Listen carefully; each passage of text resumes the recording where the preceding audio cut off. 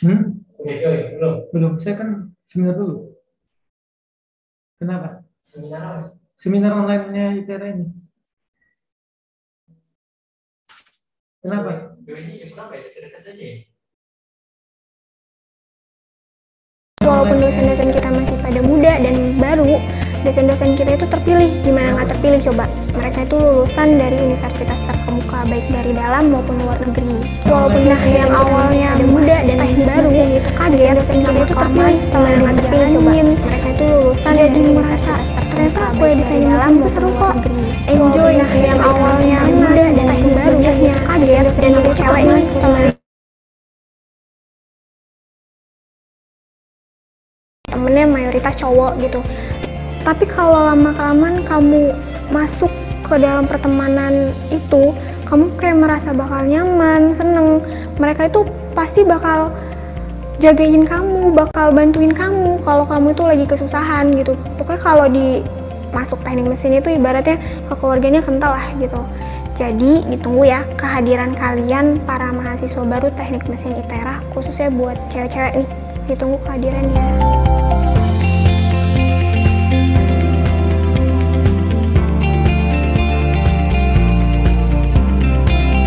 Motivasi saya masuk teknik mesin ITERA yang pertama namanya aja udah saya banget nih. Karena dari kecil saya suka banget ngeliatin segala sesuatu hal yang bergerak, khususnya kendaraan dan alat berat. Oleh karena itu saya jadi penasaran nih, kok bisa ya itu bergerak? Akhirnya saya memutuskan untuk masuk teknik mesin. Lalu dengan dicanangkannya industri 4.0, saya semakin tertarik lagi dengan teknik mesin. Sekarang ini berbagai jenis industri telah beralih dari sistem manual ke sistem otomasi dan pastinya nanti teknik mesin bakal dibutuhin banget nih di segala jenis industri.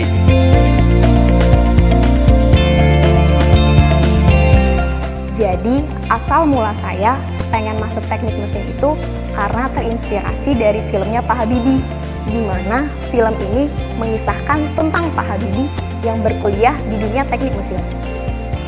Nah, dari dulu itu sebenarnya saya pengen banget jadi seorang penemu atau ilmuwan gitu. Tapi saya mau jadi seorang penemu yang tidak hanya sekedar menemukan teori saja, tapi juga mampu mengaplikasikannya secara langsung.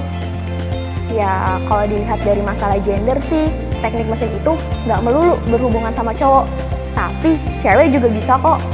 Bahkan ya, di Jerman ada salah seorang wanita asal Indonesia yang malah menjadi kepala di bidang rekayasa material, di mana bidang ini merupakan salah satu bagian dari kelompok keahlian yang ada di teknik mesin. Jadi, buat kalian, para cewek-cewek yang ingin masuk teknik mesin, kalian nggak perlu ragu lagi.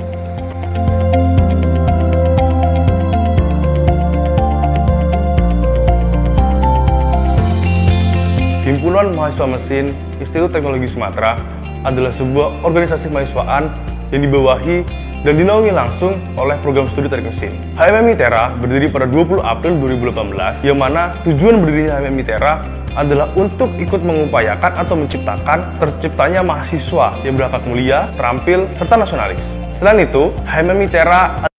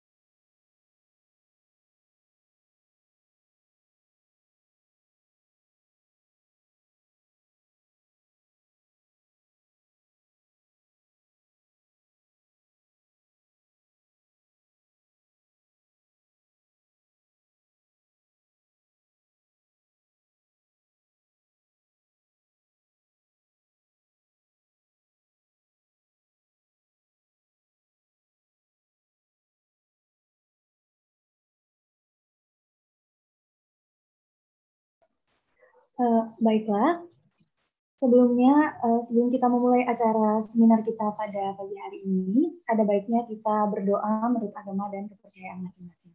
Berdoa dimulai.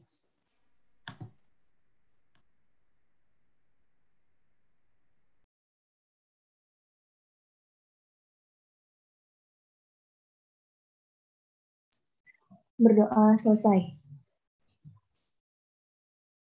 Assalamualaikum warahmatullahi wabarakatuh. Shalom, Om Swastiastu, Namo Buddhaya, dan salam sejahtera untuk kita semuanya. Yang terhormat, Hadi Teguh Yudhistira ST PhD.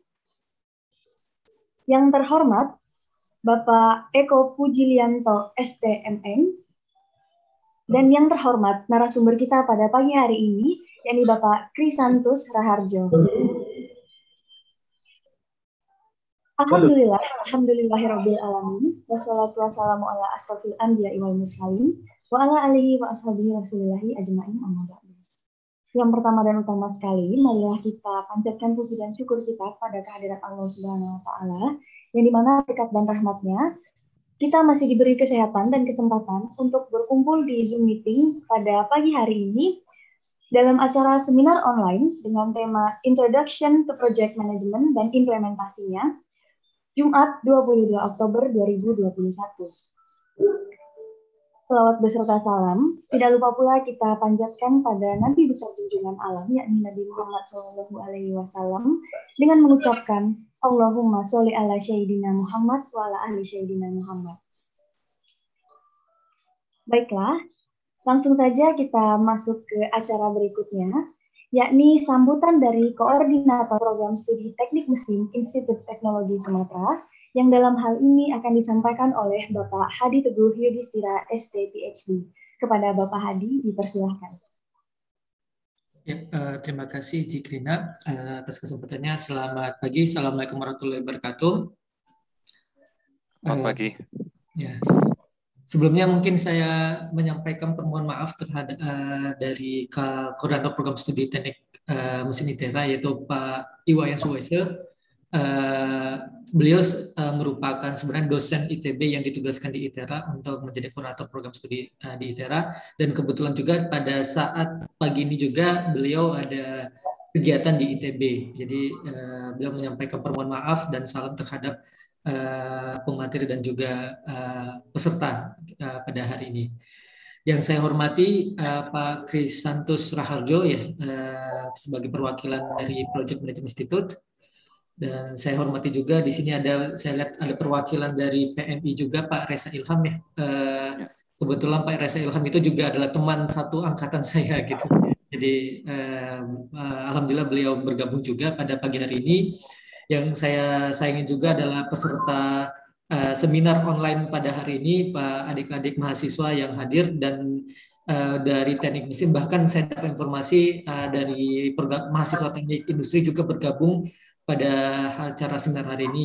Uh, ya adik-adik sekalian yang hadir pada saat ini, saya berharap uh, ini bisa di apa didengar dengan baik-baik ilmu dari Pak Kris Krisantus Raharjo. Menurut saya ilmu yang akan dipaparkan oleh Pak Kris ini adalah ilmu yang benar-benar uh, up to date dalam kondisi uh, real di dunia industri. Jadi Uh, bisa jadi ini seperti uh, materi pengayaan misalnya uh, di mana mungkin di pada saat di uh, kuliah atau di ruang kelas itu tidak uh, terlalu dalam dibahas tetapi ini akan menjadi uh, materi tambahan ya bagi adik-adik semua terutama juga yang dari uh, program studi teknik mesin yang sebenarnya ini merupakan adalah uh, pelengkap ya seperti ilmu pelengkap yang uh, dengan adanya uh, seminar kita tentang project management institute ini bisa memberikan tambahan pengetahuan kita bagaimana kondisi manajemen di uh, uh, di dalam suatu proyek tertentu. Jadi saya sangat berharap uh, kepada adik-adik mahasiswa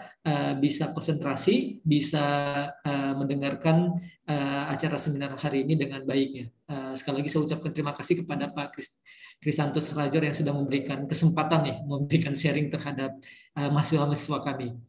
Ya, semoga dengan adanya seminar ini bisa memberikan manfaat bagi kita semua. Uh, uh, kita berharap ini juga bisa bermanfaat untuk uh, masa depan ya adik-adik mahasiswa juga. Mungkin itu saja bisa saya sampaikan. Uh, terima kasih. Selamat pagi. Assalamualaikum warahmatullahi wabarakatuh. Waalaikumsalam. Waalaikumsalam. Baik, terima kasih kepada Pak Hadi atas kata sambutannya. Eh, langsung saja kita masuk ke acara berikutnya, yang ini adalah penyampaian materi yang akan disampaikan oleh Bapak Krisantus Raharjo sebagai Vice President dari PMO dan akan dipandu oleh moderator yakni Bapak Hadi Teguh Yudhistira ST PhD. Pada Pak Hadi dipersilakan lagi Pak. Ya, terima kasih Haji Krina. Ini ganti baju istilahnya ya. dari tadi mewakili koordinator program studi, sekarang ini menjadi MC. Uh, eh, terima kasih uh, eh, MC yang sudah memberi kesempatan.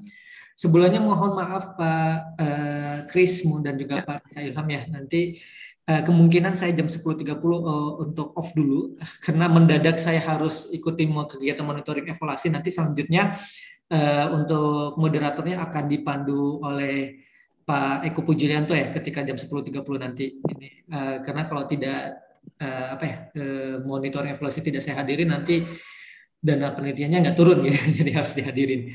Uh, Oke okay. uh, baik sebelum kita mulai saya ingin membaca uh, beberapa poin dari uh, resume atau kurikulum vitae dari Pak Kris Santos Raharjo. Nah, uh, Pak Kris Santos Harajo ini memiliki keahlian yang cukup banyak. Kalau mulai dari CV-nya cukup banyak nih. Jadi saya akan mengambil poin-poin penting. Salah satu skill yang paling utama yang saya lihat di sini adalah terkait keahliannya beliau adalah portofolio tentang program manajemen, selanjutnya tentang leadership and uh, team building, selanjutnya ada planning and resource management, baru communication and motivation, coaching uh, guidance, baru risk management Eh, selanjutnya agile methodologies dan uh, berbagai skill yang dimiliki oleh Pak uh, Chris ya. Jadi menurut saya ini cukup bagus ya skillnya cukup banyak yang artinya ini rata-rata perpanduan antara hard skill dan soft skill yang di mana menurut saya sih jarang akan didapat di kelas ya di kelas jadi uh, berharap nanti uh, ini bisa bermanfaat ya bagi adik-adik mahasiswa juga. Selanjutnya beberapa pengalaman pekerjaan dari Pak Chris uh, yang saat ini di dari tahun dari bulan April 2021 sampai saat ini sebagai advisor program portfolio management di PT Telekomunikasi Seluler. Selanjutnya sebelumnya di Januari 2020 sampai Maret 2021 ini sebagai advisor IT Agile Project Management di PT Telekomunikasi Seluler. Uh, baru sebelum lagi dari bulan Mei 2018 sampai Desember 2019 sebagai program manajer PT Asra Grafia Information Technology dari Maret 2017 sampai April 2018 merupakan senior manager IT project PT DHL Supply Chain Indonesia. Dari Mei 2013 sampai Februari 2017 sebagai Vice President of PMO, PMO PT Anabatik Teknologi. Dan beberapa uh, pengalaman yang lainnya yang saya kalau sebut satu persatu bakalan lama ya lama untuk uh, saking banyaknya pengalaman dari Pak Kris ini uh, di dunia industri. Saya rasa uh, sangat rugi ya bagi uh, adik-adik kalau tidak bisa konsentrasi kalau uh, memungkinkan jangan disambi ya. Biarkan kalau kelas kelas uh, kelas online ya kan. Tiba-tiba mahasiswanya off kamera kita panggil nggak ada yang nyaut gitu. Ternyata dia menyambi kepada yang lain. Jadi jadi saya menyarankan untuk dua jam atau dua setengah jam ke depan ini ya coba konsentrasi. Karena ini sangat sarang jarang sekali kita bisa dapat kesempatan seperti ini yang uh, dari ahlinya ya gitu mungkin itu bisa sebagai pengantar yang saya sampaikan selanjutnya saya serahkan Pak Kris Santos untuk mempersingkat waktu ya Uh, terima kasih Pak Adi dan selamat pagi dan salam kenal semuanya. Uh, Pak Adi, terima kasih juga sudah berkenan untuk mengundang dari PMI Indonesia Chapter atau kita disebut PMI Indonesia Chapter untuk datang dan memberikan seminar di apa ITERA ya. Jadi apa salah satu kesempatan kayaknya jarang saya diundang ke universitas yang ada di Sumatera. Biasanya banyak kan di Jawa yang undang gitu untuk memberikan apa eh, pengantar dari sisi project management sebenarnya atau manajemen proyek. Nah, uh, saya langsung mulai aja ya. apa uh, dan uh, sifatnya untuk uh, seminar ini interaktif. Jadi saya harap dari rekan apa rekan-rekan mahasiswa dan mahasiswi yang join untuk uh, sesi ini itu nanti bisa langsung bertanya. Uh, jadi kalau nanti dari moderator uh, Pak Hadi juga membantu ya untuk tadi kalau ada pertanyaan di tengah-tengah uh, waktu saya bicara langsung di-cut aja nggak apa-apa Pak.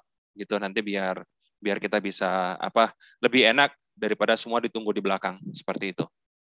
Oke, uh, saya coba share dulu materinya saya.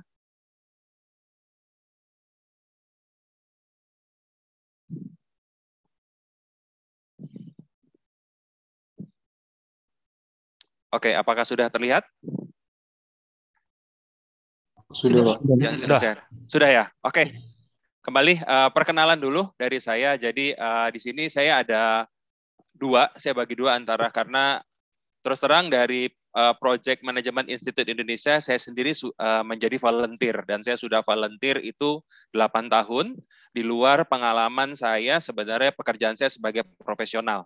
Nah, uh, untuk dari PMI Indonesia Chapter sendiri saya sudah memiliki beberapa apa menjalani beberapa posisi sebenarnya baik dari dulu sebagai hanya board member untuk education kemudian tim komunikasi, kemudian saya sempat juga di, menjadi uh, Vice President untuk Communication selama tiga tahun dari 2017 sampai 2020, sempat menjadi General Secretary dan Advisor terakhir saat ini sampai dengan 2023 di PMI Indonesia Chapter saya menjabat sebagai VP Education.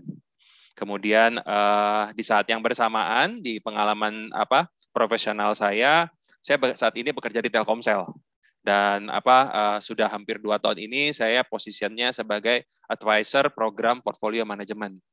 Dan tadi ini tadi sudah dijelaskan banyak ya dari uh, Pak Hadi untuk pengalaman-pengalaman saya. Dan memang background saya sebenarnya bukan teknik mesin, tapi background saya nanti itu uh, background saya sebenarnya adalah dari teknologi informasi atau software engineering saya. Jadi uh, background saya adalah uh, programmer Java programmer, kemudian uh, pindah shifting sebenarnya, tapi memang lebih kepada IT project management sehingga sampai sekarang project, program maupun portfolio itu sudah saya alami, tapi memang selalu uh, dari tahap atau view untuk IT sebenarnya. Jadi kalau rekan-rekan lihat, boleh dilihat ini industri saya beda-beda. Ini telekomunikasi, ini manufacture, ini supply chain, ini finance, kemudian ini kurir. Dan semua saya jalani hanya dengan satu profesi, yaitu sebagai IT project management dan itu sangat memungkinkan. Karena dengan apa skill untuk profesi dari project manager itu memungkinkan apa kita untuk berpindah-pindah, tentu saja didukung oleh ya apa eh, background yang sesuai ya. Seperti itu. Nah, sedikit agenda untuk maju uh, sebelum saya masuk uh, dari dua jam kita akan saya akan coba bicara satu jam ke depan itu untuk berkaitan dengan in, uh, pengantar dari manajemen proyek itu sendiri. Kemudian juga saya akan share pengalaman saya selama satu jam ke depan. Kemudian setengah jam berikutnya itu dari rekan saya uh, Pak Reza itu akan menceritakan pengalamannya Pak Reza uh, pengalaman proyeknya di oil and gas industry. Nah ini juga spesifik khusus sehingga nanti rekan-rekan uh, mahasiswa mendapatkan dua view nih. Bagaimana rasanya kerja di tadi mungkin dari saya akan lebih untuk dari sisi IT dan uh, kondisi saat ini di lapangan, kemudian uh, Mas Reza itu akan membawakan dari background untuk yang oil and gas sebenarnya. Hopefully itu sangat membantu dari rekan-rekan. Nah sebelumnya mungkin rekan-rekan banyak yang bertanya apa sih PMI uh, uh, Indonesia chapter sebenarnya. Jadi uh, PMI Indonesia Chapter itu adalah Project Management Institute. Jadi kita sebutnya adalah bahasa Inggris PMI, bukan PMI Indonesia karena nanti bisa-bisa banyak yang nanya golongan darah ke kita atau mau donor darah ya. Jadi kita uh, Project Management Institute Indonesia. Nah, ini kita adalah sebenarnya lembaga global dan yang terutama kita adalah lembaga non-profit yang mengurus istilahnya me, uh, berput, berkutat berkaitan dengan memang di manajemen proyek fokusnya hanya di manajemen proyek. Dan ini lembaga apa secara member sudah jutaan dan sertifikasi yang terpaling uh, terkenal itu adalah PMP dan sebenarnya kita punya banyak lagi apa uh, untuk sertifikasi. Tapi tadi jumlah member kemudian jumlah yang ambil sertifikasi itu sudah sangat banyak gitu. Nah, jumlah sertifikasi sendiri dari sisi PM, PMI sebenarnya ada delapan ada untuk yang CAPM, PMP, PGMP, PFMP. Ini project project management, ini program manajemen, ini portfolio, ini nanti ada PBA untuk bisnis analisis, kemudian ini ada RMP untuk uh, buat risk management, ini ada SP, ada uh, schedule profesional. Dan satu lagi sebenarnya yang mungkin uh, project management ready ini untuk yang tingkatan uh, SMA ke bawah, tapi sebenarnya kita ada yang namanya PMI ACP sebenarnya, Agile Certified Practitioner. Nah, dari lembaga PMI sendiri ini sebagai lembaga non-profit, uh, mereka mengeluarkan sertifikasi ini dan ini yang dikeluarkan secara dan diakui oleh secara internasional. Bahkan tadi uh, nanti saya akan dijelaskan khusus untuk rekan-rekan mahasiswa berkaitan dengan uh, sertifikasi untuk CAPM sebenarnya. Jadi yang memang cocok untuk pengalaman dari rekan-rekan mahasiswa dan mahasiswi di sini. Gitu. Jadi bagaimana rekan-rekan bisa membantu oh saya udah ada interest nih terhadap uh, skill manajemen proyek atau uh, apa sih kalau orang ngomongin proyek di lapangan itu bicara apa sih sebenarnya nah ini memberikan gambaran dasar sebenarnya komplit ya bahkan hanya dasar tapi aspek-aspek apa aja yang ada dalam pro, uh, manajemen proyek. Nah nanti ini saya juga akan coba inline uh, uh, ke detailnya untuk ke dalamnya uh, apa untuk dari sisi sertifikasinya sendiri.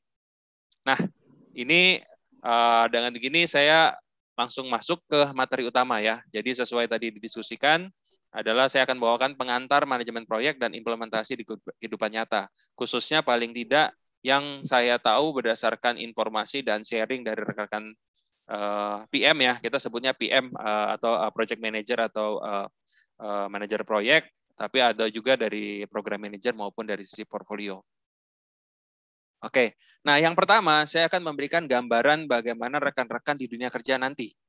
Oke, dengan apa ya in recent years yang namanya transformasi itu sangat banyak berubah changesnya itu sangat-sangat tinggi ya artinya gini bahkan dengan yang namanya kalau kita bicara digital transformation dengan startnya pandemik itu jauh lebih tinggi bahkan eh, berdasarkan survei itu bisa mencapai 70% changes itu banyak terjadi di tahun satu tahun terakhir dikarenakan oleh pandemik apa yang tadinya kita pikirkan tidak mungkin terjadi, itu kita pikirkan. Nah, itu pun juga terjadi di kondisi proyek. Kenapa? Karena saat ini sudah hampir tidak ada yang namanya perusahaan itu bekerja dalam bentuk silo-silo.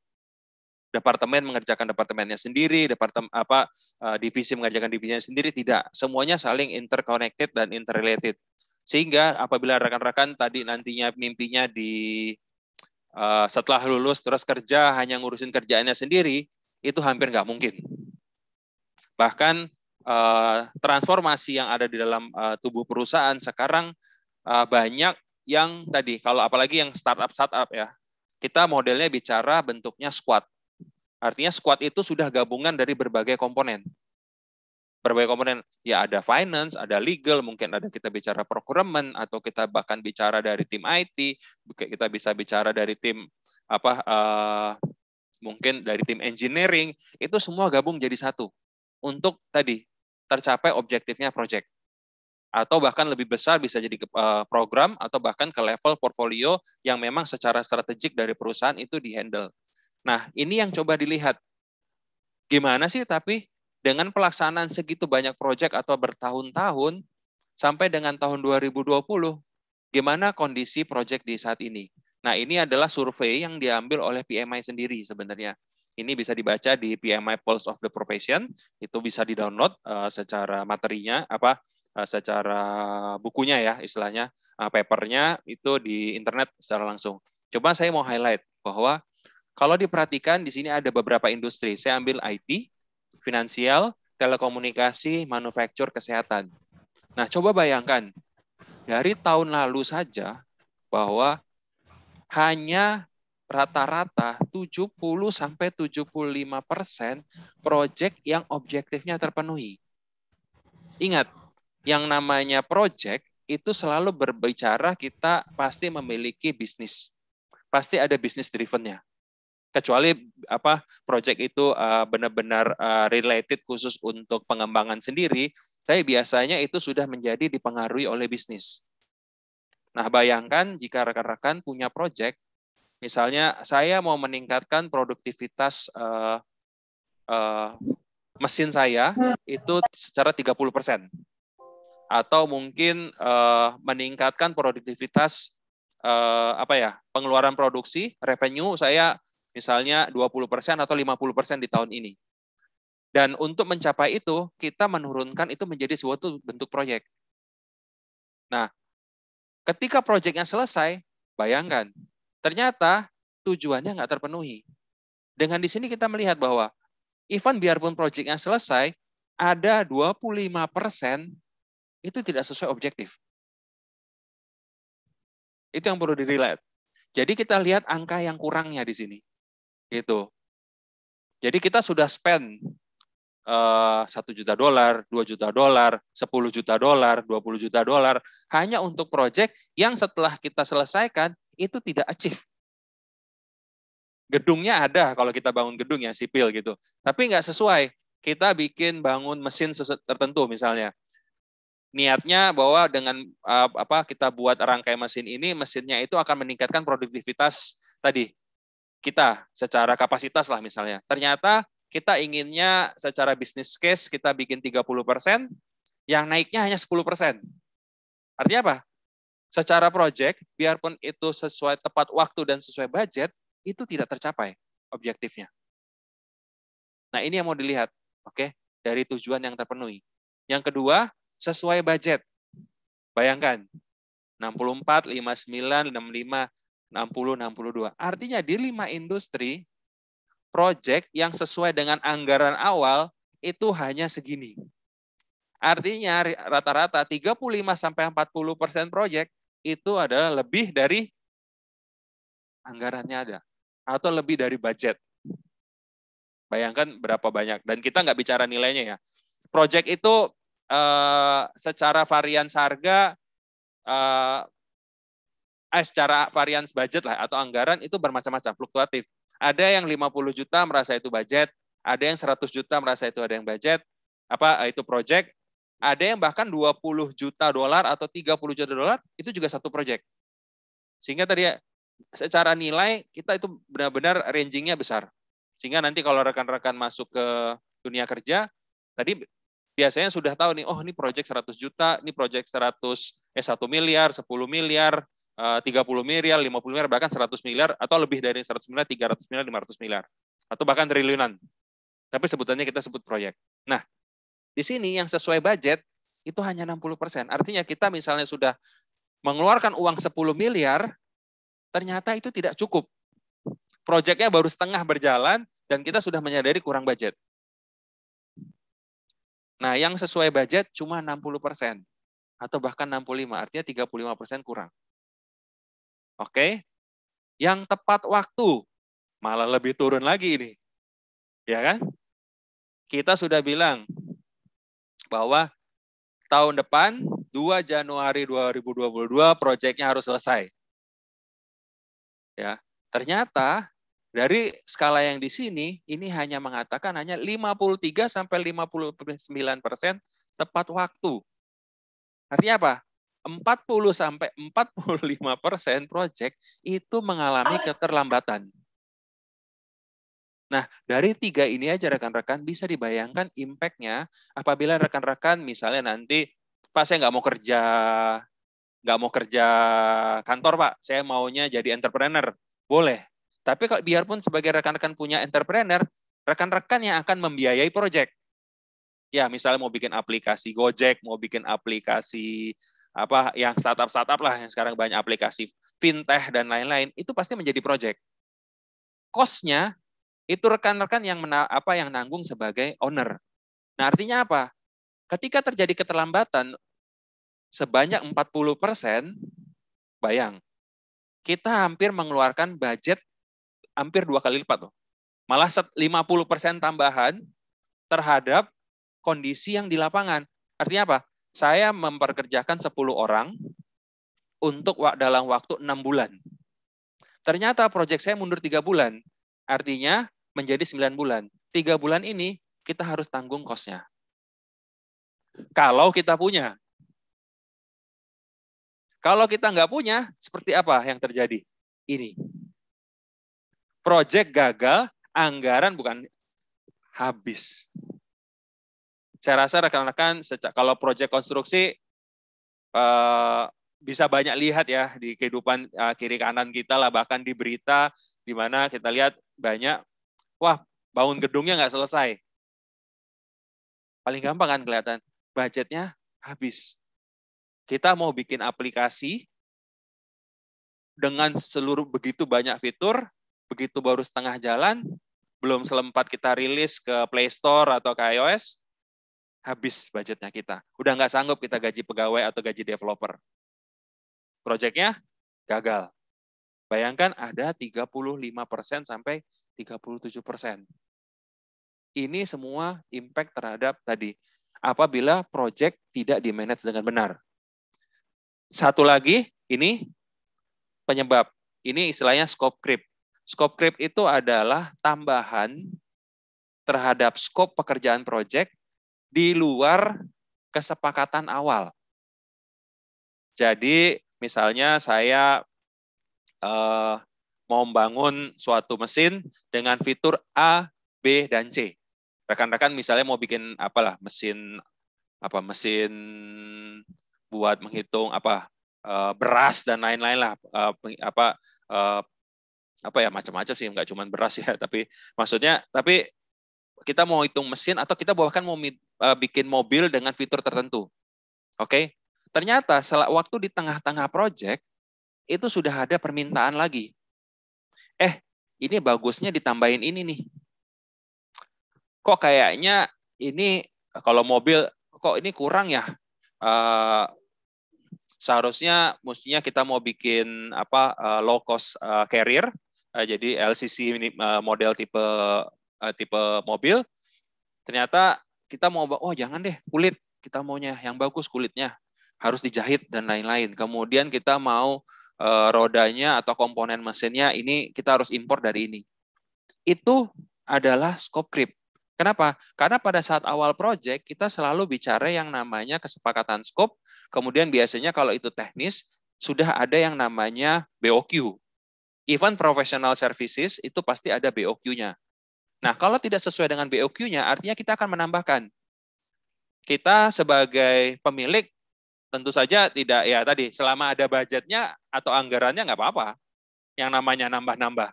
Tapi kalau nggak punya, apa yang terjadi? Ini bisa menyebabkan proyek kita gagal. Kenapa? Karena kita spend much more than we have. Budget kita satu juta dolar, kita end up ketika proyek selesai satu setengah juta dolar kalau proyeknya selesai. Kalau proyeknya tidak selesai, artinya kita akan spend more atau tadi keputusannya kita harus terminate proyeknya. Nah ini yang benar-benar tadi scope creep ini atau mungkin yang kita tadi istilahnya juga ada yang namanya gold plating itu sangat membahayakan rekan-rekan. Makanya jadi kalau rekan-rekan nanti bekerja di dunia apa uh, dunia kerja, kemudian ditaruh di project, make sure bahwa itu align sesuai dengan scope yang di awal atau ruang lingkup kerja yang di awal. Kalau A, katakan A. Kalau B, katakan B. Kalau A, B, dan C, katakan A, B, dan C. Jangan jadi A plus, B plus, atau A plus, B minus, atau jadi C plus. Kenapa? Itu akan sangat mempengaruhi dari sisi semuanya. Perhitungan resource, perhitungan teknologi yang harus di count, kemudian tadi apabila ternyata penambahan kita itu kesannya oh mudah kita hanya minta uh, ada kalkulasi tambahan kok. Ternyata misalnya dari sisi spesifikasi server kita itu tidak mampu untuk memenuhi perhitungannya kita. Artinya apa? Kita akan menambahkan tambahan sizing ulang terhadap server. Misalnya seperti itu. Nah, hal-hal ini yang penting kita untuk camkan bahwa jangan sampai ini terjadi dan ini terbukti berdasarkan survei ini bahkan sampai dari 24 sampai 39 proyek yang ada di lima industri ini itu mengalami penambahan fitur atau scope creep tanpa sesuai dengan approval. Itu. Jadi ditambah-tambahkan lah gitu. Akhirnya menjadi masalah. Nah, yang terakhir ini adalah proyek yang di tengah-tengah sudah dianggap gagal dengan berbagai macam faktor. Secara presentasi tinggi, 10 persen, 30 persen, bahkan proyeknya aja belum, istilahnya belum take off-nya belum banyak lah. itu sudah dianggap gagal. Nah, that's why kenapa ini menjadi penting buat rekan-rekan untuk belajar dari sisi manajemen proyek dan mengerti kondisi di lapangan. Kenapa? Saya yakin 100% bahkan 120% ketika rekan-rekan nanti lulus, kemudian bekerja atau bahkan mendirikan perusahaan sendiri, itu akan mengalami yang namanya kondisi kita memerlukan apa menginisiat yang namanya project. Either kita terjun sebagai team member atau bahkan lead projectnya nanti atau kita sebagai owner. Gitu. Karena saya yakin rekan-rekan di sini mimpinya tidak semua jadi pegawai. Pasti semua jadi entrepreneur ya kan? Ada beberapa yang jadi entrepreneur lah gitu. Either bikin aplikasi entah bikin jualan online dan lain-lain. Tapi tadi semua pasti akan ada suatu inisiatif tertentu untuk masuk nah oke okay. sekarang dari tadi saya mengatakan kenapa perlu untuk belajar manajemen proyek pentingnya adalah empat ini, rekan-rekan. Memang sih kelihatannya kalau rekan-rekan baca, uh, Mas Kris nih kok kayaknya apa ya, nggak ada monetary benefits-nya. Ya iya, belum ada. Karena apa? Ini lebih kepada skill. Kita bicara kolaborasi, critical thinking, kreatif, sama communication. Banyak sebenarnya aspek dari manfaat belajar manajemen proyek termasuk bahkan saya yang udah pasti adalah leadership kalau kita sebagai nanti sebagai peran kita sebagai project manager. Tapi saya akan fokus terhadap kemampuan dari empat ini gitu. Oh, tapi kita bisa dapat ini dari tempat yang lain. Yes, tapi dari sudut pandang project atau waktu rekan-rekan view coba belajar untuk manajemen proyek, ini menjadi sangat penting. Oke, yang pertama kolaborasi. Oke, kolaborasi itu selalu kita bicara tentang relasi. Kenapa? Tidak kita di luar kalau project itu adalah project sendiri ya atau pet project ya atau project research yang kita lakukan sendiri, biasanya project itu dilakukan oleh bersama, oleh tim. Gitu. Sehingga ketika kita bicara dengan satu dengan satu orang misalnya cuma berdua projectnya, ini project berdua aja atau project bertiga aja. Artinya apa? Di situ kita sudah harus ada yang kita pelajari secara soft skill. Kenapa? Dengan adanya makin banyak orang, pertama kita harus tadi belajar untuk berbicara dengan orang lain. Belajar untuk bicara apa maksudnya? Mengutarakan pendapat atau ide-ide. Karena sering kali banyak orang yang takut untuk mengutarakan pendapat mereka. Dan pengalaman saya dulu waktu saya sering interview rekan-rekan yang baru lulus SMK, baru lulus kuliah gitu untuk masuk terjun ke manajemen proyek. Itu even setelah mereka masuk dan saya lihat di lapangan, jarang sekali ada yang mau bicara saya nggak tahu apakah didikannya memang uh, untuk uh, pasif, tapi secara aktif untuk berbicara itu agak susah sehingga harus dipancing-pancing. Padahal mereka bertanggung jawab terhadap bagiannya mereka. Nah, ini adalah part of dari kolaborasi. Kita belajar untuk bicara. Apa dari part dari kolaborasi yang penting juga? Mendengarkan. Oke? Okay? Setelah kita bisa mengungkapkan idenya kita, maka kita harus belajar mendengarkan dari rekan yang lain. Percaya deh, dua atau tiga orang ketemu, itu pasti sudah punya tiga ide yang berbeda. Dan tiga punya gaya yang berbeda. Artinya apa? Ada yang mungkin pembawaannya suaranya gede, arogan, yang satu suaranya kecil, nurut aja, itu akan memberikan dinamika yang sangat berbeda di suatu tim saya rasa eh, rekan-rekan di, di kehidupan mungkin dari semenjak SMA, SMP, atau bahkan saat kuliah saat ini sudah banyak kerja berkelompok kan. Dan itu pasti kelihatan kok mana yang sangat mendominasi, ada yang satu orang yang diem aja tapi dikasih kerjaan semuanya. Ya kan? Dah, kamu selesain aja sendiri. Itu namanya bukan kolaborasi. Kolaborasi kita harus benar-benar saling bisa menyuarakan pendapat kita. Oke, sehingga apa? Semua memberikan input bagaimana target utamanya secara project, objektif si projectnya ini tercapai. Makanya kita butuh yang namanya kolaborasi. Oke. Nah, yang kedua ini critical thinking. Oke. Critical thinking ini intinya cuma satu. Bagaimana kita melihat permasalahan yang ada di depan kita atau merumuskan solusi yang ada di depan kita tanpa bias. That's it sebenarnya. Artinya apa? Kita bisa memberikan, oh, approach apa yang paling baik secara rasional ya untuk memecahkan masalah ini. Kenapa? Pasti kita akan ketemu masalah. Kalau tidak, nggak mungkin ini terjadi? Project-project ini nggak achieve. Yang tadi kita bicara 40%, 35%. Kenapa? Karena kita pasti solusinya bisa jadi berubah. Bisa jadi satu masalah itu memiliki tiga solusi. Nah, apa solusi yang terbaik? Satu A, eh, A, B, atau C? Satu, dua, tiga. Itu adalah pilihan. Nah, ini yang kita tadi. Kita benar-benar lihat masalah as is. Gitu. Sehingga kita bisa memberikan input yang benar. Oke? Nah, yang ketiga itu adalah kreatif. Tadi, untuk memikirkan come up dengan ide solusi 1, 2, 3 atau ABC tadi, kita benar-benar perlu. Gimana kita berpikir kreatif. Kadang-kadang, aduh, udah mentok nih. Gimana caranya? Udah nyerah aja. Nggak ada cara lain.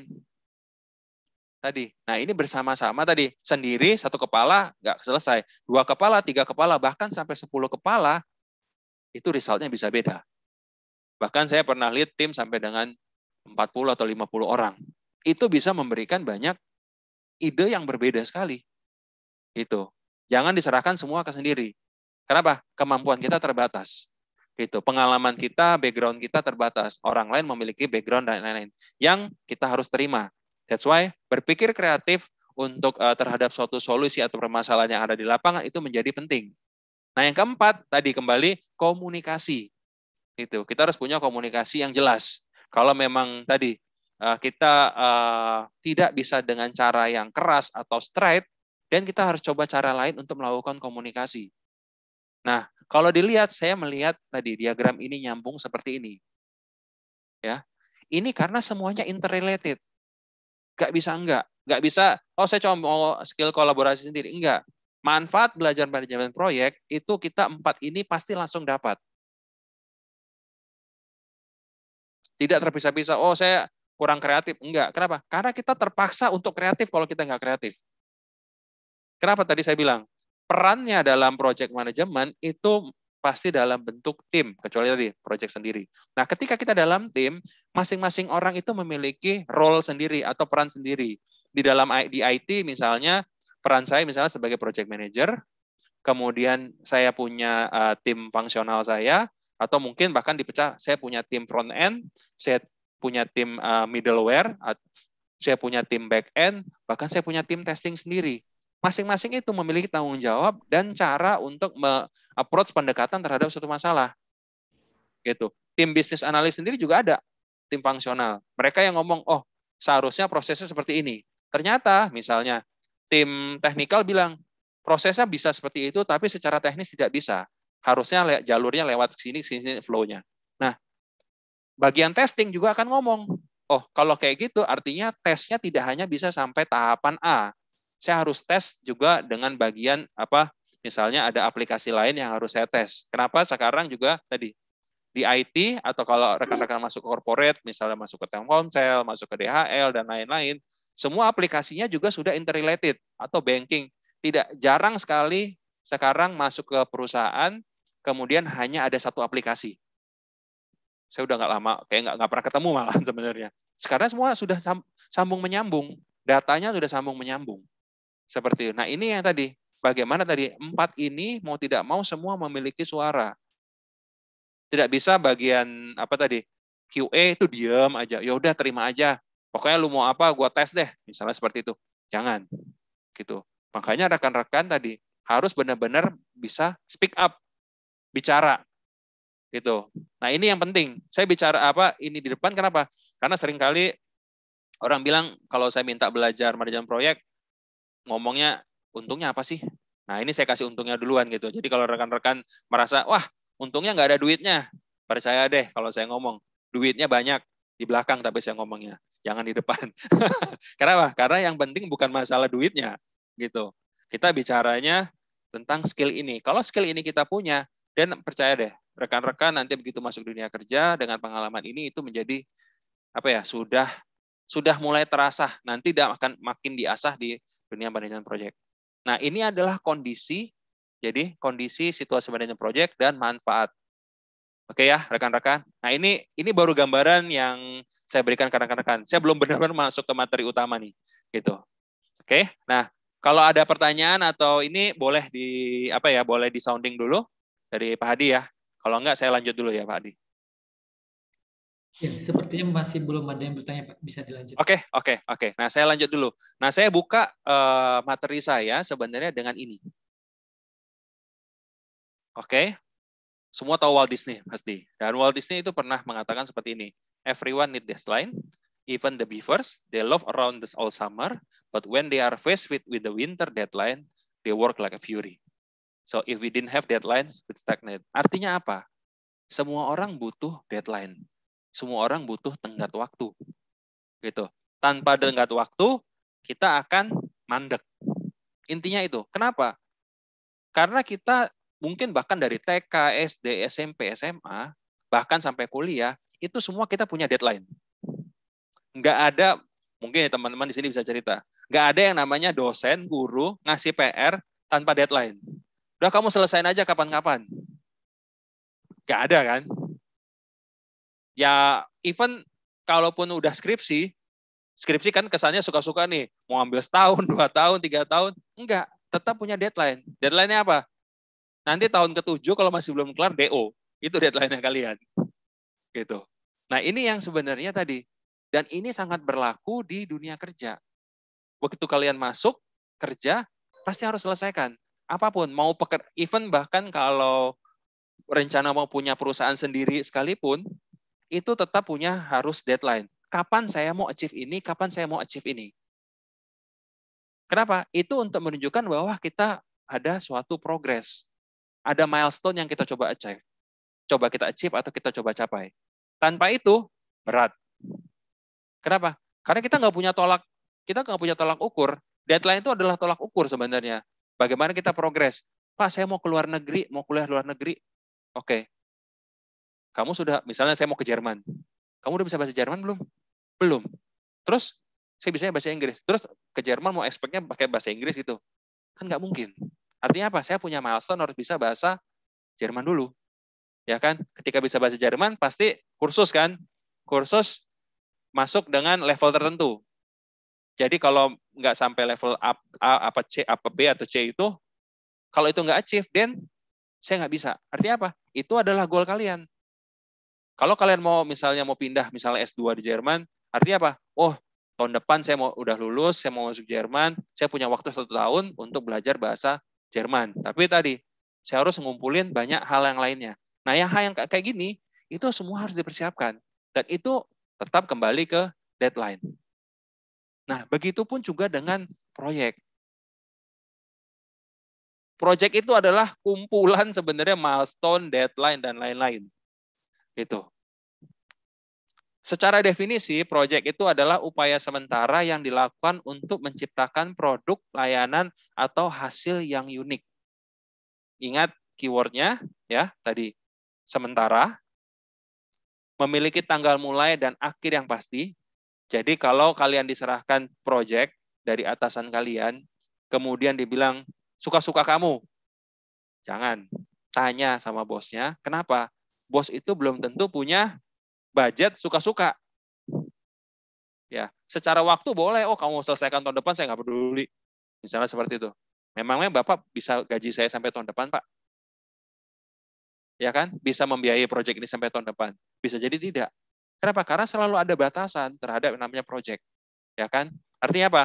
Bersifat sementara dan memiliki tanggal dan mulai dan tanggal akhir yang pasti, ya. Jangan disamain dengan pacaran. Pacaran bukan project. Kalau tidak pasti ya tinggalin aja, gitu ya. itu karena tanggalnya tadi kita nggak punya tanggal. Tapi tadi project itu pasti punya tanggal, tanggal awal dan tanggal akhir. Oke. Yang kedua, itu kita bicara produk atau layanan dan hasil itu adalah unik. Gitu. Ini harus dibedakan. Oke. Pada saat pertama kali misalnya si RV dibuat, maka itu unik. Oke. Apa yang apa yang unik ya? Apalagi pada saat aplikasi Tokopedia, Gojek itu dibuat pertama kali dan itu unik. Oke.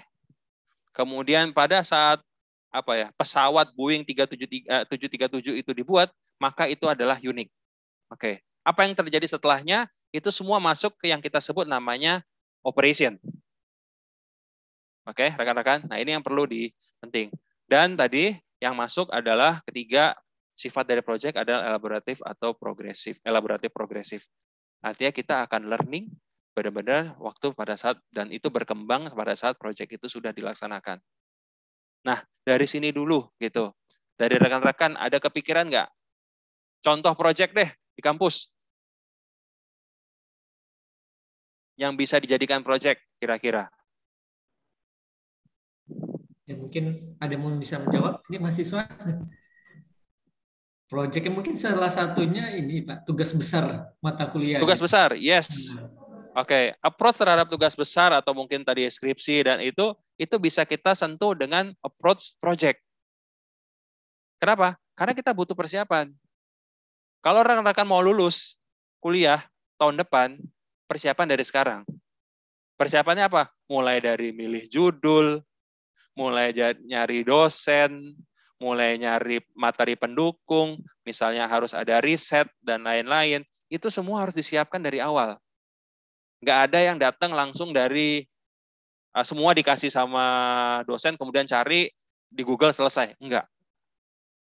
Nah, itu harus di-prepare. Bahkan tadi, kalau sampai kita harus ada riset dan lain-lain, artinya kita harus siapkan budget.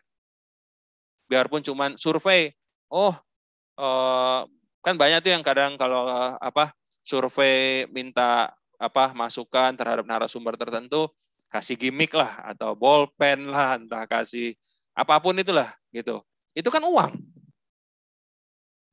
Gitu. Kalau kita nggak bisa kasih itu artinya kan kita cuma bisa kasih terima kasih.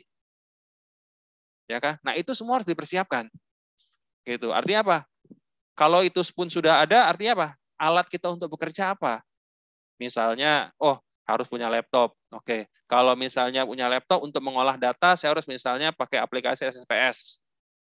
Itu beli lagi aplikasinya. Nah, itu semua adalah hal yang harus dipersiapkan untuk tugas besar. Ya kan? Untuk yang kita skripsi. Tanpa persiapan itu, percaya deh, kalau semuanya along the way, apa suka-suka berjalan, nggak bakal ke mana-mana. Saya dulu waktu masih kuliah kerja kelompok tugas besar karena saya diminta tugas akhirnya adalah membuat aplikasi. Karena saya IT, waktu itu saya buka, uh, bikin aplikasi uh, POS, yaitu point of sales. Gitu. Nah, itu masing-masing mulai dari belajar bagaimana point of sales itu da, apa uh, ber uh, flow-nya seperti apa, kemudian uh, datang ke toko obat atau ke apotik yang mau ini mencari mencari customer. Apa? Kenapa? Karena tujuannya adalah perlu implementasi si aplikasinya nantinya. Gitu aplikasinya dipakai. Artinya apa? Mulai cari kasih kira-kira yang mau diajak kerja sama siapa kemudian tadi flow-nya seperti apa kemudian data-datanya misalnya oh ternyata posnya waktu itu saya uh, apotik. Artinya apa? Saya butuh data-data obat nih itu semua kan harus kita ini, harus kita persiapkan. Kalau ternyata dia data-datanya manual, masih semua pakai buku hijau ya, buku apa uh, portfolio gitu, artinya apa? Kita harus record semua datanya. Dan itu tadi deadline kita adalah bagaimana proyek itu kita submit dan dipakai dan dinilai. Cuma enam bulan waktu itu harus selesai, ya kan? Nah ini yang harus tadi kita persiapkan. Oke, apalagi yang mudah yang mudah-mudah aja mikirnya. Kira-kira kalau enggak paling mudah misalnya nih uh, sebelum pandemik saya nggak tahu sih dulu ya. Aplikasi absensi. Itu project. Dulu mungkin datang ke kampus absensinya masih manual, disebutin sama gurunya masing-masing. Sekarang mungkin sudah pakai aplikasi. Pakai handphone.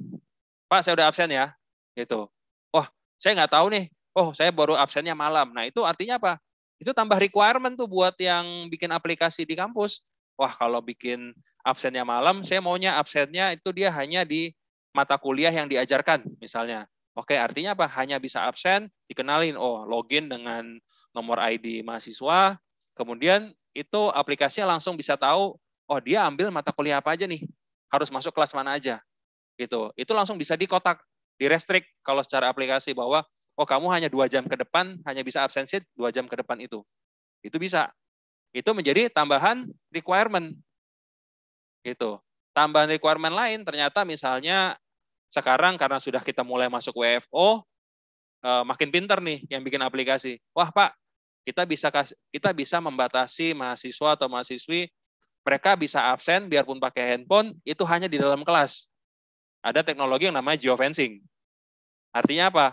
Kalau saya absen di luar kotak yang saya tentukan di ruangan kelas yang ada, maka itu bisa langsung ditolak. Nah, teknologi bisa seperti itu. Banyak. Dan itu juga yang dipraktekkan saat ini. Termasuk saya. Saya saat ini absen seperti itu karena misalnya uh, pemerintah dilarang kita uh, semua stay uh, work at home ya, stay at home aja, jangan ke mana-mana, biarpun nggak di kotak-kotak, paling nggak tadi dikasih tahu, oh kamu bekerja di luar ini harus izin atasan misalnya, dinaik ke atasan. Nah ini yang apa? Itu menjadi project. Padahal simpel kan, mesin absen. Mungkin ya Pak Hadi juga sebagai dosen juga harus seperti itu. Itu bener nggak nih ngajar gitu, atau cuma dikasih putar video aja nih ke mahasiswa-mahasiswanya. Nah, yang hal-hal ini yang apa? Hal-hal ini yang menjadi tadi hitungan bagaimana kita kontrol project. Nah, itu banyak sekali yang namanya bisa dijadikan project. Sehingga tadi, again, tetap bersifat sementara, ada tanggal mulai dan akhir, kemudian produk dan layanan hasil yang sangat unik, yang unik ya pokoknya ya. Kemudian elaboratif sama progresif. Oke. Nah, project itu dapat ending empat sebenarnya. Yang pertama pastinya tercapai. Yang kedua, tadi tujuannya tidak tercapai. Kliennya itu mau batal apa stakeholdernya itu mau membatalkan proyeknya atau ketiga itu kebutuhan akan proyeknya tidak ada lagi. Kenapa? Misalnya ternyata delay-nya terlalu lama. Saya berapa kali pernah mendapatkan proyek, saya join di tengah-tengah, itu proyeknya mundur tiga tahun sudah. Pilihannya setelah mundur tiga tahun, apa yang harus dilakukan nih? Ternyata secara bisnis itu sudah tidak dibutuhkan lagi. Rupanya sudah ada proyek lain yang berjalan untuk mencoba menggantikan proyek yang lama ini. Akhirnya proyeknya dibatalkan. Artinya apa? Rilis, selesai, kalaupun dianggap selesai, tapi nggak dipakai. Buat apa? Kan seperti itu. Nah, ini yang menjadi masalah. Itu. Harus hati-hati. Membatalkan proyek tadi, itu juga bisa terjadi misalnya pergantian direksi. Di dunia kerja nanti kita sudah kerja-kerja kerja capek-capek, eh ganti nih bos kita. Dan ketika kita ganti bos, ganti arah perusahaan atau visi misinya ganti.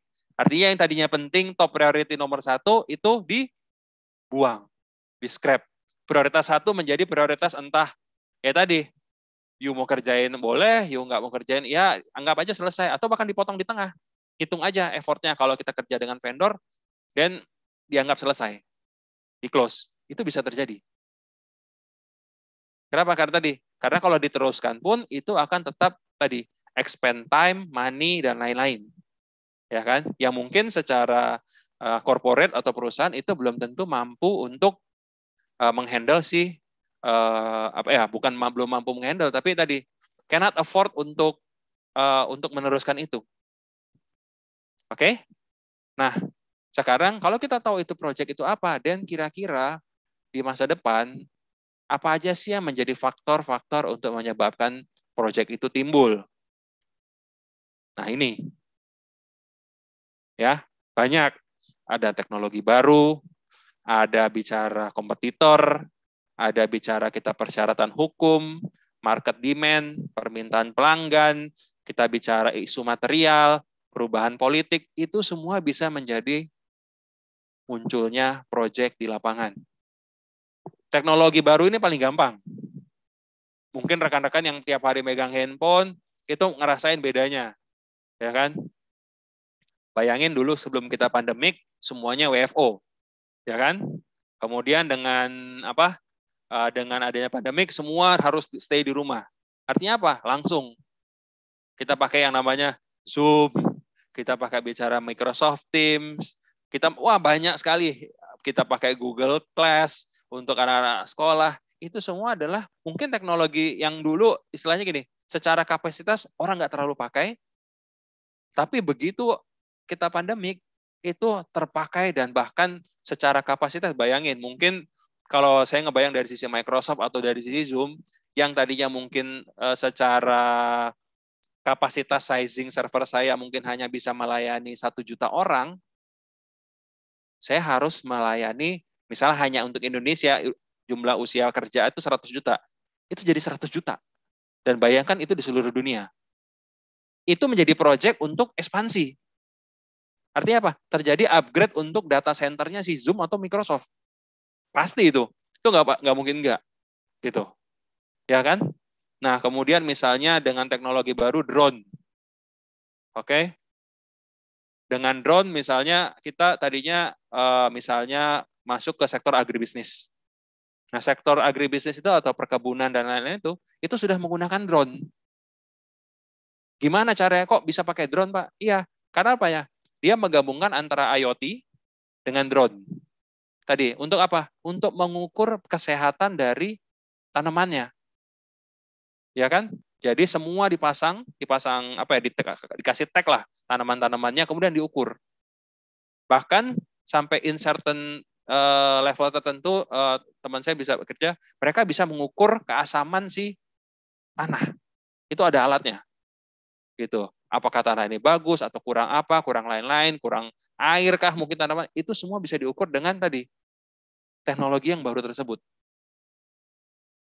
Nah, itu saking canggihnya gitu. Jadi butuh orang nggak untuk apa ngukur-ngukur itu lagi tanah dan lain-lain? Nggak perlu untuk ngecek keliling. Nggak perlu. Kenapa? Ada drone kok. Drone udah pakai kamera. Gitu. Kalaupun kita ada bridge atau security dan lain-lain, ini menjadi penting. Oke. Kemudian tadi makin canggih, misalnya kita bicara teknologi hacker dan lain-lain, apa uh, yang mau apa kemarin ada beberapa kalau rekan-rekan lihat ada kasus uh, pencurian data itu penting sekali namanya uh, pencurian personal information atau financial information. Nah, itu ada teknologinya juga untuk mencegah itu.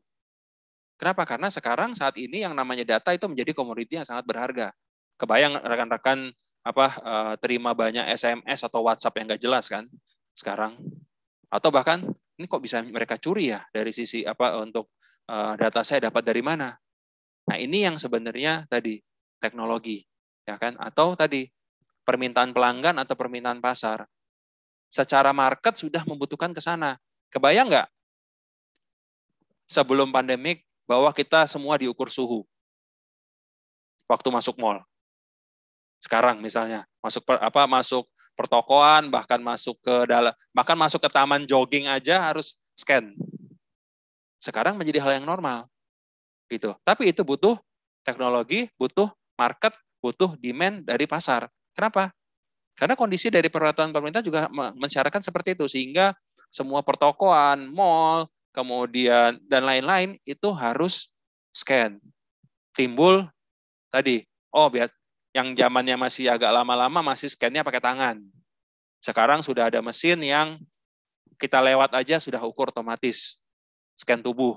Ada yang masih kita harus ngasih tangan kita tapi tulusnya sudah berdiri sendiri dan nyambung. Nah, Hal-hal seperti itu semuanya adalah tadi kita bicara untuk faktor-faktor yang menyebabkan terjadinya proyek. Bahkan kalau rekan-rekan even punya ide untuk tadi membuat mesin tertentu, dan itu artinya bisa jadi untuk tadi pasti for the sake of something kan. Entah eh, rekan-rekan merasa kurang bahwa ini belum ada di lapangan, belum ada di market, atau oh, ini saya cuma sifatnya bantu kok kebutuhan sosial aja mungkin bikin mesin irigasi dan lain-lain ini bisa macam-macam. Nah, ini yang tadi kita bicara faktor yang menyebabkan proyek itu diciptakan. Oke, gitu ya. Jadi banyak sekali yang menyebabkan uh, proyek itu muncul tadi. Nah, kalau kita sudah tahu proyek dan artinya uh, dan apa yang uh, menyebabkan proyek itu muncul, kenapa sih kita harus manage atau apa itu manajemen proyek?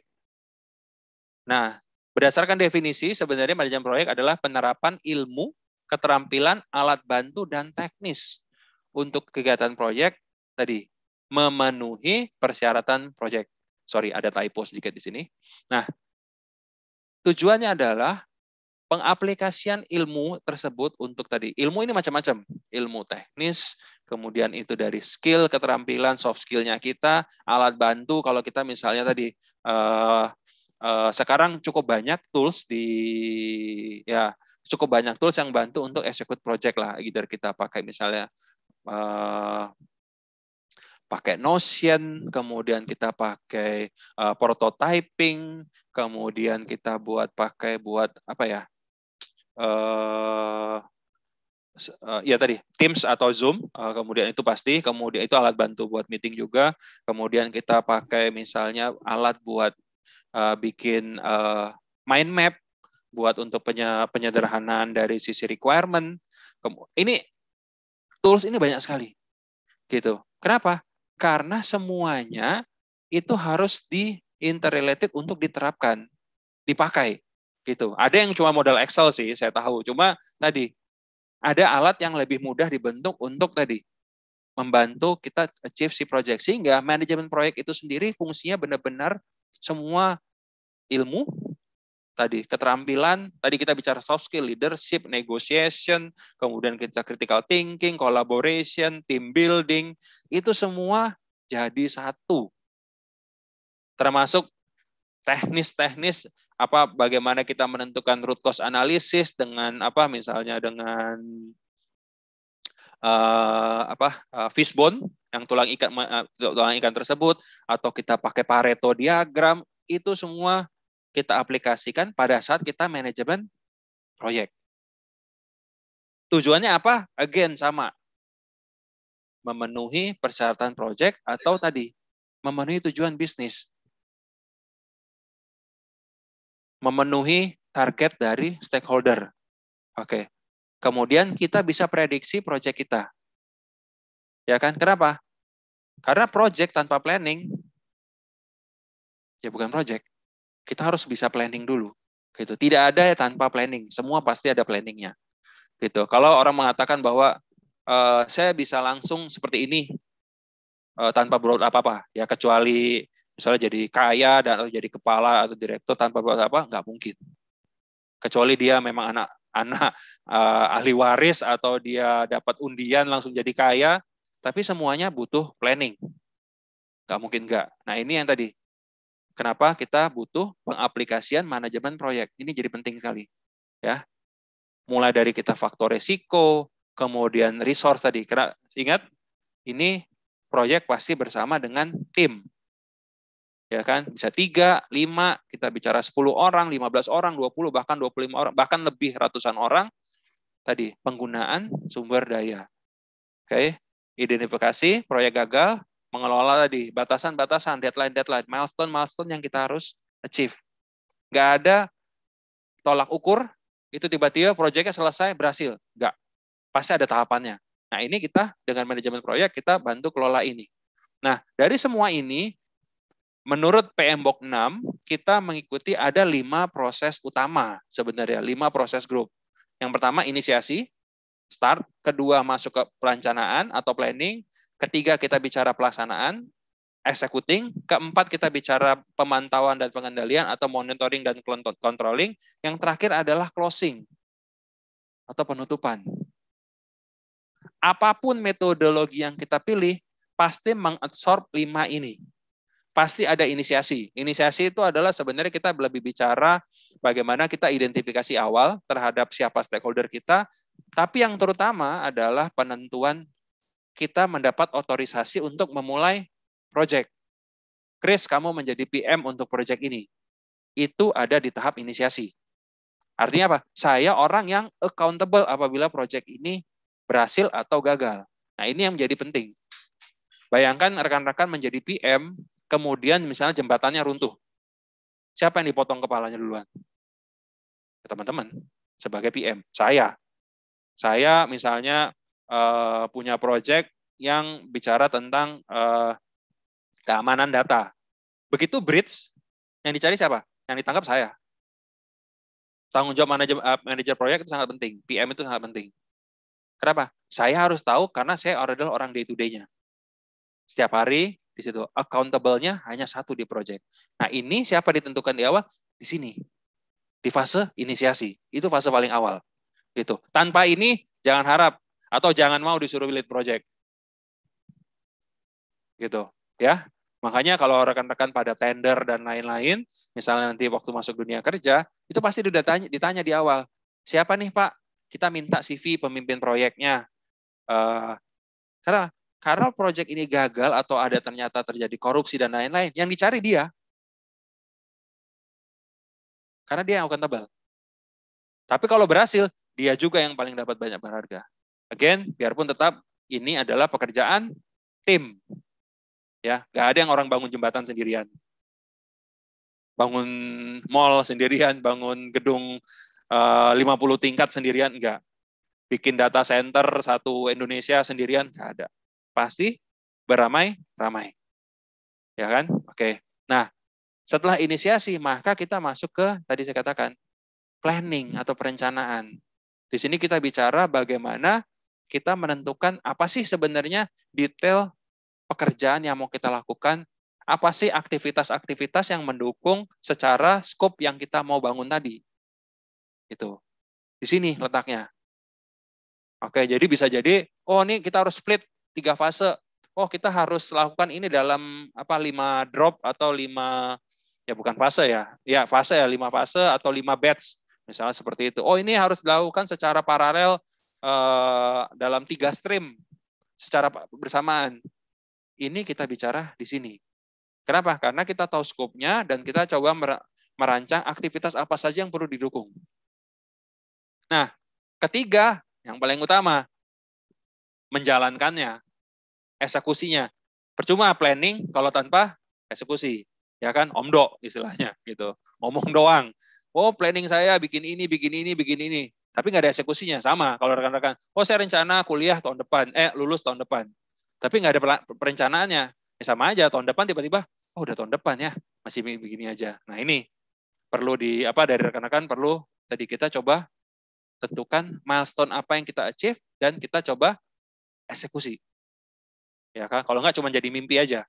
Planning tinggal planning. Nah, setelah dilaksanakan, kita coba artinya apa? Day to day kita punya report progress entah dalam bentuk persentase, entah dalam bentuk oh, saya mau bangun rumah, pondasinya udah jadi nih, lumayan.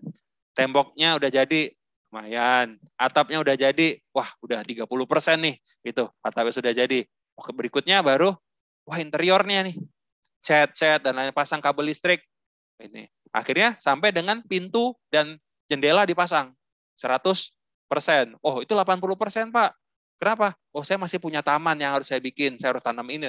Itu baru jadi 100 persen. Siapa yang menentukan? Ya tadi, di perencanaan, kita eksekusi. Nah, dua ini setelah kita dapat datanya, kita cari, maka ada bagian ini. Dimonitor, tanpa dimonitor ya percuma, kita nggak bisa eksekusi. Kita harus monitor dan kontrol. Ini menjadi apa dari rekan-rekan sangat penting ya untuk kita coba lihat. Terakhir, apabila ini kita lihat ternyata oh kita set fitur ABC ada, kemudian masuk ke kelompok sudah kita eksekusi dan ini benar diuji juga sudah ABC sesuai secara quality assurance-nya juga sudah oke okay, ABC, maka kita bisa masuk ke penutupan. Closing. Ya, selesai nih kelima rangkaian ini. Nah, ini apa pun metodenya, apa pun proyek metodologi yang kita pilih, pasti ada lima itu. Nah, ini adalah siklus hidup proyek. Kita bicara prediktif, iteratif, incremental, adaptif, dan hybrid sebenarnya. Atau yang tadi, ini adalah prediktif. Tadi, kita lihat masukkan konteks ini ke dalam siklus ini. Dan semuanya ada. Apa pun siklus yang kita pilih. Itu. Prediktif. Prediktif itu artinya semua sudah didefine di awal. Atau kita bicara kalau mungkin rekan-rekan uh, sering dengar konsep waterfall katanya. Artinya apa? Dia bentuknya sequence. Air terjun itu kan begitu turun ya sudah langsung ke semua step ke bawah gitu. Jarang airnya naik lagi ke atas kan. Kalaupun sampai naik lagi, kosnya sangat mahal. Artinya saya harus bawa ember, bawa naik lagi ke atas, saya tuang lagi ke air terjun. Nah, ini adalah konsepnya prediktif. Artinya paling tidak dengan konteks eh, siklus prediktif ini kita bicara 90% dari requirement bahkan 90% requirement kita tahu di awal. Sehingga planning dan apa eh, estimasi biaya, estimasi waktu itu sudah masuk di prediktif. Oke, kemudian kita masuk ke siklus iteratif. Nah, ini yang juga perlu uh, di apa ya? Di tetap di awal secara requirement, tapi untuk waktu estimasi waktu itu disesuaikan dengan achievement yang kita sesu, sudah selesaikan, termasuk estimasi biaya. Ya kan? Kenapa? Karena tadi ini kaitannya dengan pemahaman yang kita bicara progressive elaboration. Waktu awal biarpun kita tentukan requirement kita di awal, belum tentu kita tahu semua sampai dengan detail ke belakang. Artinya apa? Kita kayak learning by doing, step by step. Nah, ini adalah position kita iteratif. Gitu. Nah, nanti ini mirip dengan kita bicara incremental. Di mana tetap mereka memasukkan rangkaian iterasi, tapi menambahkan fungsional berdasarkan uh, faktor yang sudah kita tentukan.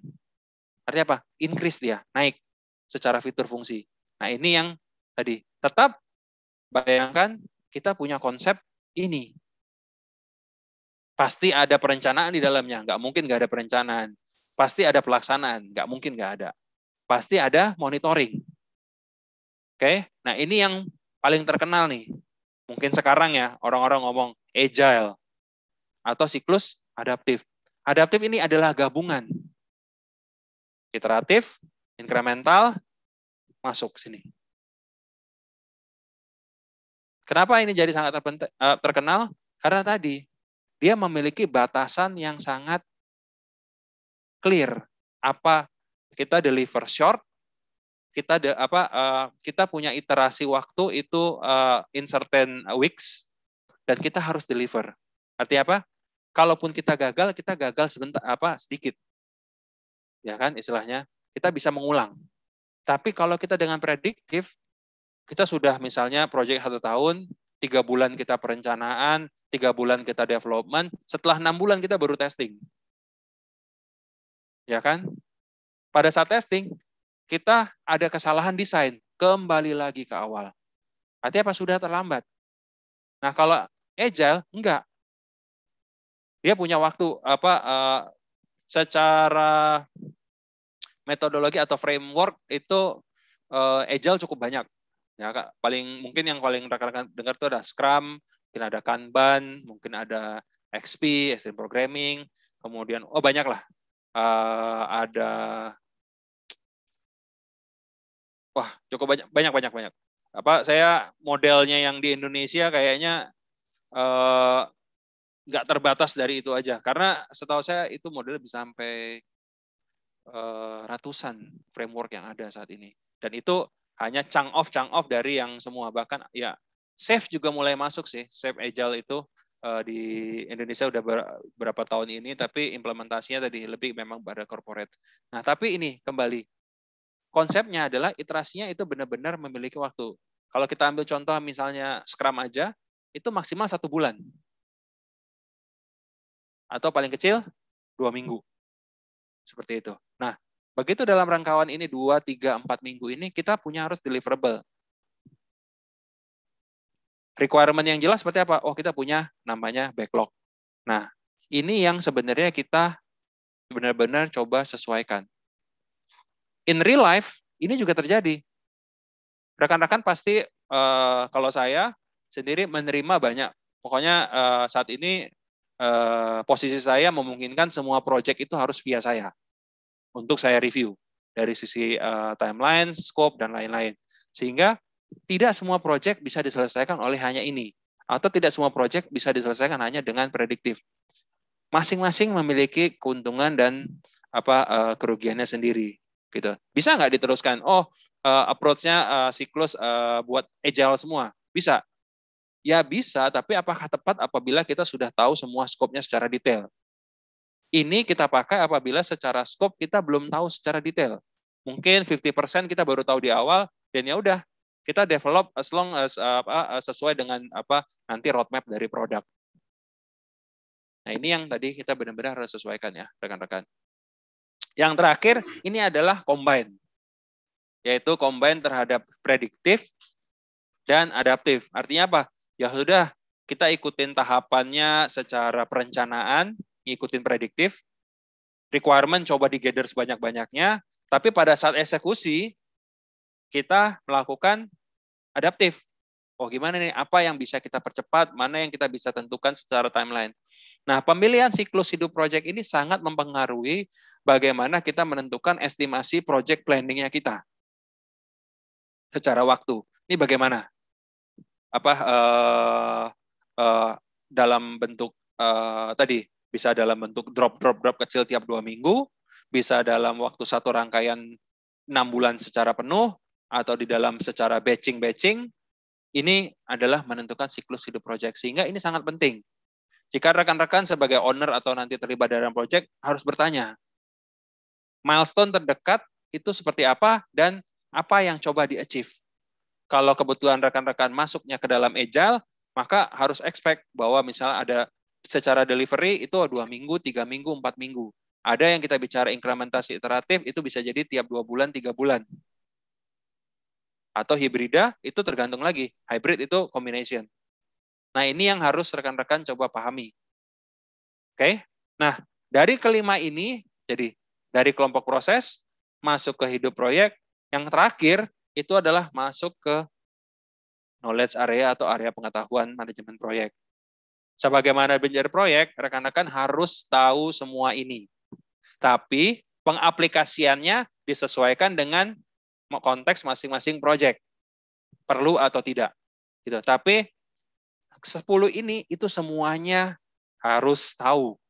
Paling tidak ah, kalaupun sekarang belum tahu percaya deh kalau langsung dicemplungin di proyek pasti akan mengalami ini. Pasti. Ada yang kita bicara uh, integrasi proyek, lingkup proyek atau scope, manajemen jadwal proyek itu kita bicara uh, schedule, biaya proyek itu kita bicara cost, mutu, quality, sumber daya, resource, kemudian communication atau komunikasi, pemangku kepentingan itu stakeholder, resiko proyek, dan pengadaan proyek, procurement maupun resiko.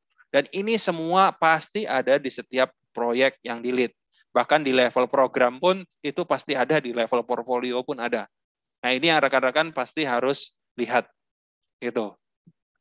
Artinya apa? Bagaimana kita mengukur tadi secara schedule ini sudah sesuai atau belum sih? Kalau rekan-rekan yang punya duit, entrepreneur datang ketemu satu orang, bilang, Pak, ini uh, bisa saya selesaikan tiga bulan. Uh, biayanya 200 juta, uh, nanti tim saya lima orang. Ini, ini, ini. Itu baru tiga komponen. Ya kan? Kita baru bicara. Terus, gimana struktur komunikasinya? Oh, nanti kita pakai WhatsApp aja, Pak, untuk komunikasi. Ah, kalau cuma WhatsApp saya kurang ini nih. Uh, kayaknya saya belum tentu bisa respon. Ya sudah, Pak, di luar WhatsApp, kalau ada uh, kasus tertentu, kita report ke Bapak tiap minggu ya, Pak. Manajemen stakeholder. Kenapa? Karena mereka yang punya kepentingan. Sehingga kita perlu update mereka. Ya, rekan-rekan. Nah, ini menjadi sangat penting. Terakhir, ternyata opsi yang kita pilih itu memiliki bisa jadi memiliki resiko. Makanya, kalau dilihat dari sini, kebayangkan kalau semuanya dikerjakan sendiri. Nah, inilah dari rekan-rekan nanti pada saat kita pilih proyek, itu kita selalu kembali bekerja tim. Yang namanya kolaborasi, critical thinking, kreatif, dan kita komunikasi itu menjadi faktor utama. Kenapa? Semua pasti mengalami ini. Dan tidak bisa hanya satu orang yang tadi menguasai ini semua. Pasti ada yang dipercayakan. That's why yang berikutnya kita bicara berkaitan dengan perannya project manager. Seperti saya katakan tadi, manajer proyek itu menjadi sangat penting dan dia memiliki faktor utama sebagai orang yang accountable terhadap si proyeknya. Tidak ada orang lain yang accountable selain si manajer proyek terhadap proyek tersebut. Apabila terjadi kesalahan yang dibuat oleh tim, tadi kayak bilang, jembatannya pasti mau nyambung di tengah runtuh. Itu project manajernya, biarpun project manajernya mungkin lagi nggak di lapangan, atau project apa uh, data center data centernya down biarpun dianya lagi tidur harus dibangunin kenapa karena dia harus tahu rencana malam ini apa yang dilakukan apa yang lagi dibangun itu semua manajer proyek tahu That's why uh, project management itu atau si project manager itu menjadi sangat penting. Gitu. Banyak sekarang model-model uh, project manager yang selalu disesuaikan. Oh, ini perlu kompetensi dan lain-lain apa orangnya perlu ini. Makanya dari PMI itu menentukan bahwa ada tiga sebenarnya kompetensi yang perlu sekali dibuat atau dimiliki oleh si project manager. Yang pertama, teknis manajemen proyeknya sendiri. Artinya apa? Tadi, pembuatan schedule, paretro, dan lain-lain, itu adalah tanggung jawab dia. Kedua, itu adalah kepemimpinan, leadership. Kepemimpinan ini kita banyak model, tadi yang saya katakan, tidak hanya bicara top down, atas bawah. Bisa juga sekarang kalau rekan-rekan juga sudah banyak dengar yang bicara servant leader dan lain-lain, ini semua adalah hanya model dari sisi kepemimpinan. Nah, faktor ketiga yang harus ditentukan oleh rekan-rekan adalah strategi dan manajemen bisnis. Ini jadi penting sekali, ya. Oke, nah teknis manajemen proyek, bagaimana proyek dan strategi dan manajemen bisnis ini adalah lebih kepada bagaimana si PM itu memiliki sense of terhadap bisnisnya juga. Kenapa? Again, kembali ke yang tadi saya awal jelaskan, project is not just a project, tapi ada benefit yang harus di-achieve. Sehingga kalau si PM tidak punya sense bahwa, oh, oke, okay, ya sudah saya sudah selesaikan tepat waktu dan ini. Tapi sebenarnya secara objektif itu nggak tercapai. Maka project itu bisa jadi dikonsider sebagai gagal. Nah ini yang menjadi penting. Gitu. Project berhasil, apa ya secara project selesai, tapi tadi apa yang di benefit yang dicoba di capai itu menjadi tidak terbukti akhirnya secara perusahaan secara konteks uh, view dari perusahaan itu bisa jadi tadi tidak sesuai dengan ekspektasi si perusahaan. Nah, ini menjadi penting. Nah, ini adalah semua tanggung jawab tersebut ada di manajer proyek. That's why manajer proyek itu benar-benar orang yang harus mampu. Ya, rekan-rekan apabila lulus jangan langsung apply jadi manajer proyek. Karirnya nggak langsung ke sana. Karena tadi banyak yang harus diperkirakan, biarpun dari rekan-rekan tahu, secara teori pun tetap harus ada pengalaman di lapangan. That's why biasanya jalur untuk menjadi uh, project manager itu bisa dari rekan-rekan mulai dari misalnya ikut dari jalur jadi PMO dulu, BMO eh, itu adalah Project Management Office yang biasanya mengurusi uh, kebutuhan dokumen, kebutuhan meeting, data-data detail, template terhadap project management, atau rekan-rekan datang dari background sebagai leader, either technical leader atau kita bicara business leader. Artinya apa? Tahu bagaimana hidup dari sisi proyek. Masuk dari situ biasanya. Oke. Nah, paling tidak dengan kedua posisi itu rekan-rekan tahu bagaimana oh siklus project itu berjalan dulu. Gitu. Karena apa? Setelah itu baru masuk yang namanya mungkin masuk ke kita sebut bisa jadi project koordinator atau bisa jadi project leader atau bisa jadi junior project manager. Nah, ini adalah step yang harus dilalui kalau apabila rekan-rekan mau jadi project manager. Itu nggak langsung tiba-tiba jadi project manager. Kasihan kalau saya. Terus terang saya berapa kali interview banyak yang mau uh, jadi project manager begitu lulus. Tapi begitu saya tanya pengalaman, berat. Maksud saya berat, sudah lead project apa aja? Belum, Pak. Uh, paling ya tadi, oh baru kemarin lead team aja. Kalau lead team aja sih masih oke okay, gitu. Tapi kalau ternyata uh, tugas besar dikerjakan sendiri, kemudian apa-apa dia nggak aktif di organisasi juga di kampus, tapi Oke, terus kalau saya tanya, kenapa kamu mau lamar di jadi project manager? Ya, kan saya S1, Pak. Itu bagus, apa posisinya. Apa mentereng lah namanya title-nya project manager. Ya nggak bisa. Title mentereng dengan tanggung jawab mentereng kan beda. Gitu. Nah, ini yang sebenarnya rekan-rekan perlu tahu bagaimana kita step by step untuk benar-benar masuk ke manajer proyek dan melihat dari tadi knowledge area dari sisi siklus yang kita tahu, kemudian bagaimana kita menghidupi si project ini sendiri itu menjadi sangat penting. That's why jangan tanggung jawab tak project manager itu berat kayak tadi saya bilang. Karena dia adalah satu-satunya timnya ratusan, misalnya project manager buat uh, buat gedung kayak Burj Khalifa atau bikin LRT deh kayak di Jakarta atau project jalan tol Trans Sumatera itu berat tanggung jawabnya. Gitu. Tadi, karena cuma sendiri untuk ngurusin ini. Kalau ada apa-apa salah dari timnya yang ratusan orang itu atau vendornya puluhan itu, dia yang tanggung jawab. Gitu. Jadi rekan-rekan, ini yang benar-benar dari manajemen proyek. Nah, sebagai part of dari ini, apa sih yang rekan-rekan bisa siapkan? Sertifikasi. Oke, okay? sertifikasi dari PMI itu adalah sertifikasi CAPM namanya. Jadi sertifikasi CAPM ini sebenarnya manfaatnya apa sih buat rekan-rekan gitu. Ini benar-benar sertifikasi paling basic yang di-provide oleh PMI. Certified Associate of Project Management. Jadi hanya associate. Jadi untuk rekan-rekan yang tadi pernah jadi team member, project member, itu sudah bisa apply buat sertifikasi ini sebenarnya. Keuntungannya apa? Yang pertama batu loncatan. Ya kan? Artinya apa? Kalau saya interview uh, orang dan dia sudah punya CAPM, artinya saya sudah bicara bahasa yang sama. Mungkin rekan-rekan dari tadi saya ngomong, uh, ini si Mas Kris ngomongnya pemangku kepentingan, stakeholder. Apa sih sebenarnya pemangku kepentingan?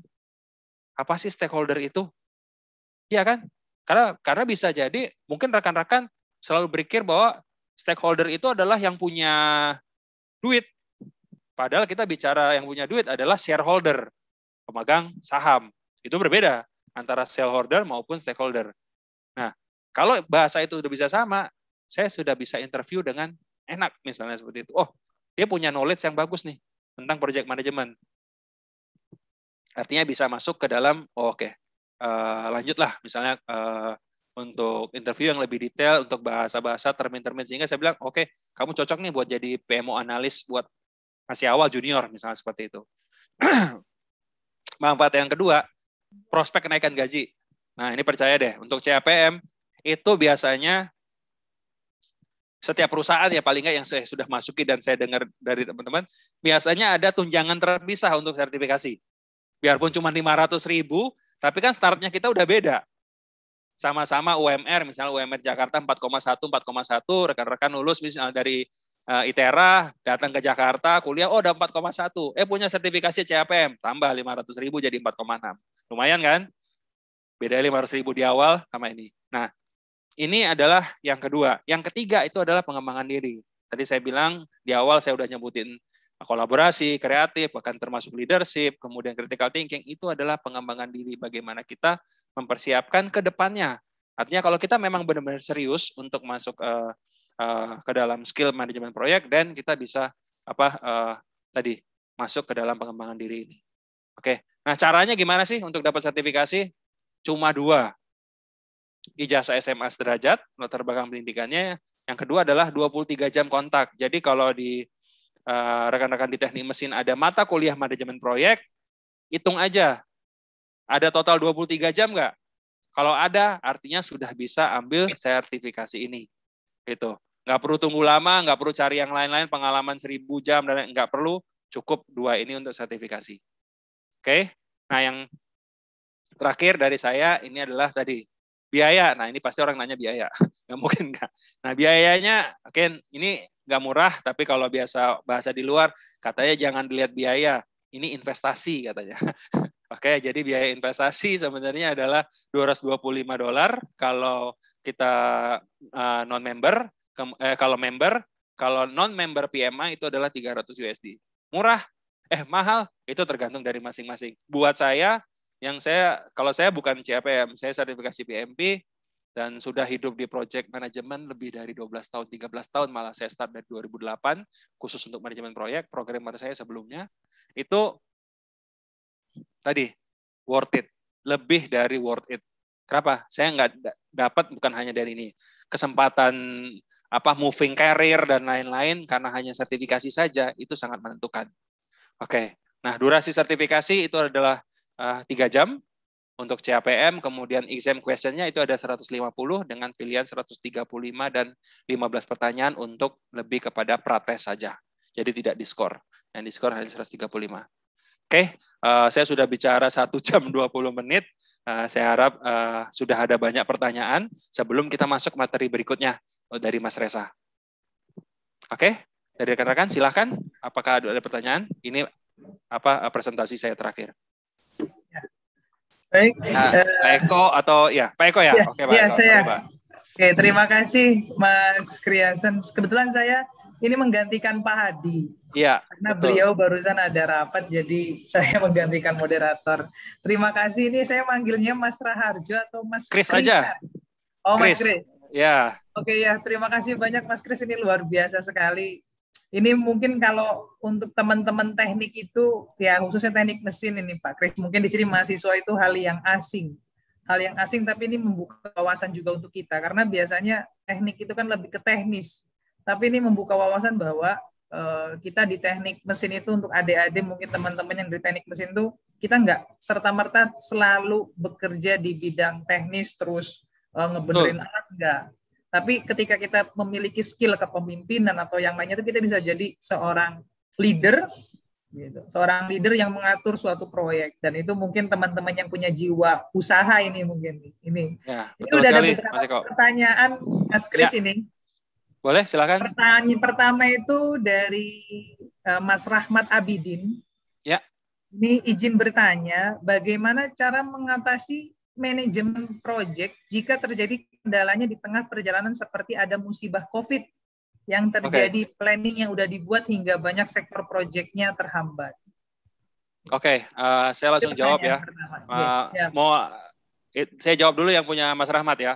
Ya, silakan. Oke, Mas Rahmat. Jadi kalau bila terjadi dan itu terjadi sebenarnya eh, bahwa hambatan di tengah-tengah proyek itu, artinya apa? Karena kondisinya ini adalah kondisi yang dipahami oleh setiap orang, maka yang kita bisa lakukan adalah tadi meminta penyesuaian. Kita sebagai project manager harus melakukan eskalasi proses ke atas atau ke sponsor yang kita bicara.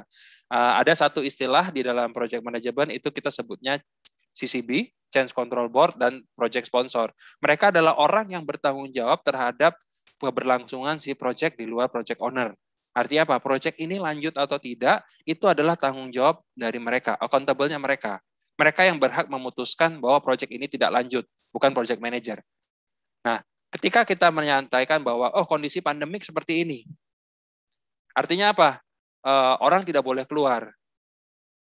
Kita harus meminta kemunduran waktu. Saya ada satu project eh, yang saat ini berjalan, itu adalah implementasi satu Indonesia. Dan itu menghar- mengharuskan bahwa setiap orang datang on-site ke BTS. Gitu, ke menara-menara inilah. eh, Tower-tower untuk apa pemancar telekomunikasi. Nah, apabila seperti itu artinya pada apa? Kita kan work from home. Sehingga menjadi berat. Artinya apa? Kita butuh syarat yang namanya tadi sudah vaksin misalnya atau kita harus melakukan tes antigen. Itu harus kita comply. Artinya apa? Itu extra cost terhadap proyek kita. Tadinya tidak ada di budget.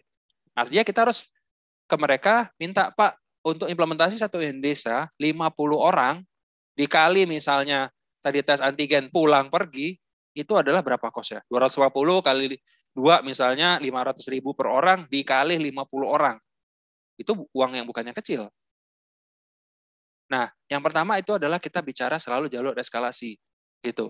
Apabila itu memungkinkan, maka itu akan diterima, artinya proyek lanjut.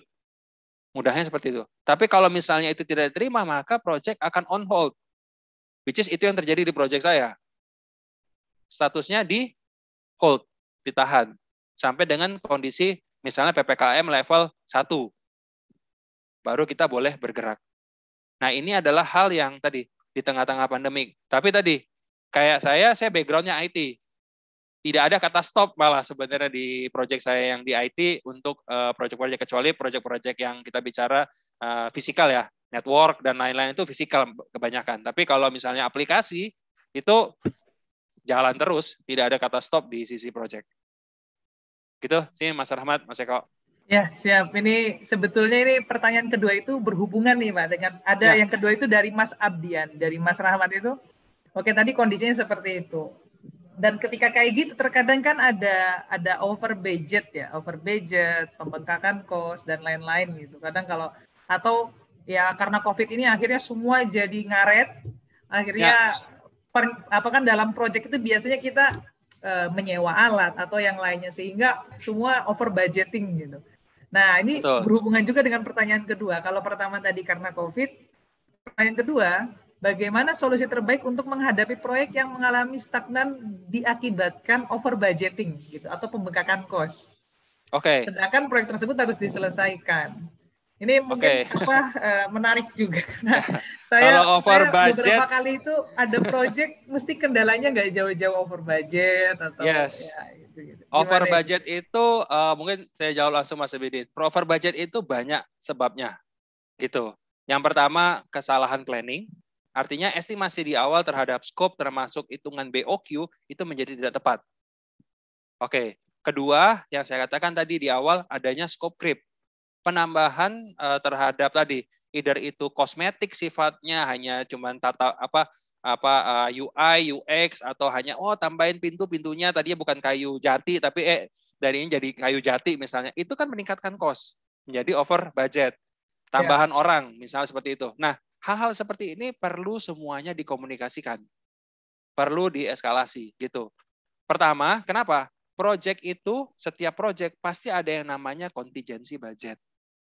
Oke, kontingensi budget tadi saya bicara kalau kita di sini itu ada di masalah di biaya proyek, ya kan? Nah, ketika kita bicara kontingensi budget, artinya kita sudah mengetahui di faktor resiko kita mengenal yang namanya unknown unknown sama non unknown. Resiko yang kita kenali tapi kita belum eh, kita belum dan kita persiapkan responsnya resiko yang tidak kita ketahui dan ini. Tapi tadi itu tidak untuk menanggapi scope rip. Tapi oke okay lah, sekarang kondisinya over budget. Artinya apa? Kita sebagai uh, manajer proyek naik ke atas. Boleh nggak itu yang namanya budget kontingensi diturunkan, dipakai? Gitu. Tentu saja dengan justifikasi yang jelas ya. Seperti itu. Kalau justifikasinya nggak jelas pasti nggak diturunkan. Gitu. Tapi biasanya yang dilakukan oleh manajer proyek itu adalah kita akan meminta tadi kenaikan apa estimasi pemberian budget berdasarkan analisa kita awal kalaupun ini over budget, artinya proyek kita kan mundur, ya kan? Artinya nggak ya nggak mundur sih, tapi tadi artinya kita menyuplai tanah resource baru, tapi tidak sesuai dengan perkiraan kita di awal. Maka kita harus kasih provide justifikasi. Apabila dari sisi manajemen itu setuju, dari sponsor setuju, kemudian dari misalnya CCB itu setuju, maka kita bisa lanjutkan untuk execute project. Tapi biasanya setiap project punya yang namanya kontingensi budget di luar budget si project itu sendiri. Rata-rata on the market yang saya tahu kontingensi itu sekitar 10 sampai 15 persen dari total PO project.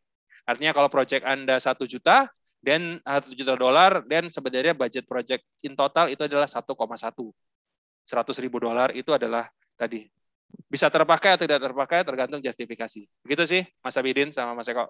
Oke oke. Berarti tadi itu patokan apa kontingensi yang penambahan berapa 10 persen itu itu itu kesepakatan aturan atau uh, kesepakatan antara klien dengan uh, pelaksana proyek atau gimana? Atau ada aturan itu tadi itu adalah identifikasi resiko di awal.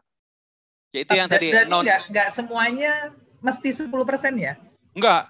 Artinya gini kalau kita tahu bahwa kita akan menghadapi resiko uh, bahwa proyek ini terjadi fail artinya kan kita sudah tahu bahwa ketika kita hitung resiko ini kemungkinannya terjadinya probabilitasnya seperti apa? Tinggi atau rendah atau middle? Kemudian impact-nya seperti apa? Kalau impact-nya besar dan probabilitasnya tinggi terjadi, maka sebenarnya waktu kita manajemen risiko kita, kita sudah harus melakukan preventif dong. Jangan sampai risiko itu terjadi. Tapi apabila itu terjadi, maka kita harus make sure bahwa kita punya budget untuk mengeksekusi responsnya kita. Gitu. Artinya kita sudah coba identifikasi, oh seberapa kemungkinan sih misalnya terjadi pandemik nggak ada yang tahu pasti gitu. Tapi impactnya kan sangat besar di lapangan. Stop. Pemerintah bilang stop tidak boleh uh, turun ke lapangan misalnya. Semua WFA misalnya. Semua dari rumah sebisa mungkin itu waktu awal-awal misalnya nah ini kan artinya totally stop. Toko semua berbanyak semua stop. Bahkan kita mau beli barang material aja mungkin sudah nggak ada. Apa yang kita lakukan? Itu itu Mas Eko, Mas Ebidin. Oke, siap. Gitu. Menarik ini karena saya pribadi saat ini sedang mengalami over budget. Lagi bangun nah. rumah ternyata budget. nah, kalau itu ya tadi ada kontingensi budgetnya ya Mas Eko kalau kayak gitu. Ini ya. penting ya. ya. Dan itu biasanya tadi kalau yang saya tahu sih 10 sampai 15 persen, Mas. Tapi iya. tadi tidak bisa waktu dialokasi proyek kita selalu mengalokasikan mengalokasikan 15 persen, nggak bisa. Karena Iya, itu iya, harus ada dasarnya dari mana datangnya 15% itu. Oke oke. Dan saya itu karena nggak nggak pakai ilmu project, jadi pakai ilmu keinginan, akhirnya over budgetnya sampai Wah, 100% ya. Wah, ya berat kalau itu, Mas. Itu tadi saya bilang ini. harus sesuai dengan skopnya gitu. Jangan sampai Iya. terjadi kebanyakan keinginan di tengah-tengah akhirnya over. Tapi itu memang sering terjadi ya, Pak Kris ya. Jadi dalam proyek tiba-tiba di tengah ada keinginan yang beda, kok ini lebih bagus Oh, ya, itu- akhirnya dirubah Itu gitu. lumrah. Dan Oh, itu lumrah. diperbolehkan kok. Masalahnya kuat nggak bayarnya gitu aja sih Mas Eko. Oke, jadi gitu Mas Abian. Ini pertanyaannya over budget karena yang sering ditemui itu mesti over budget. Ya. Ini sebetulnya banyak sekali pertanyaan Mas Kris. Ya, Eh, saya masih ada cuman- satu pemateri lagi Mas Reza. Ki- Ah. eh, saya nggak bisa lihat jam apa sekarang kan udah tinggal 20 menit lagi ya. Ya. Boleh Mas Reza dulu memberikan implementasi Oke, oke. untuk eh, oil and gas nanti kita lanjut kalau ada sisa. Oke oke silakan. Eh, mungkin Oke, silakan Mas kasih. Reza dulu. Eh, nanti pertanyaan ini mohon maaf eh, saya skip dulu pertanyaan. Silakan saya Boleh nanti kita tanya Mas begitu Reza. ada waktu. Ya, Oke, ke oke, Mas Reza. siap. Mas Reza sudah siap? Oke, Mas Kris, eh, to- Siap. bisa Aku minta stop tolong sharing di- ya. Ya, siap. Ya, siap. Oke, Mas Reza silakan.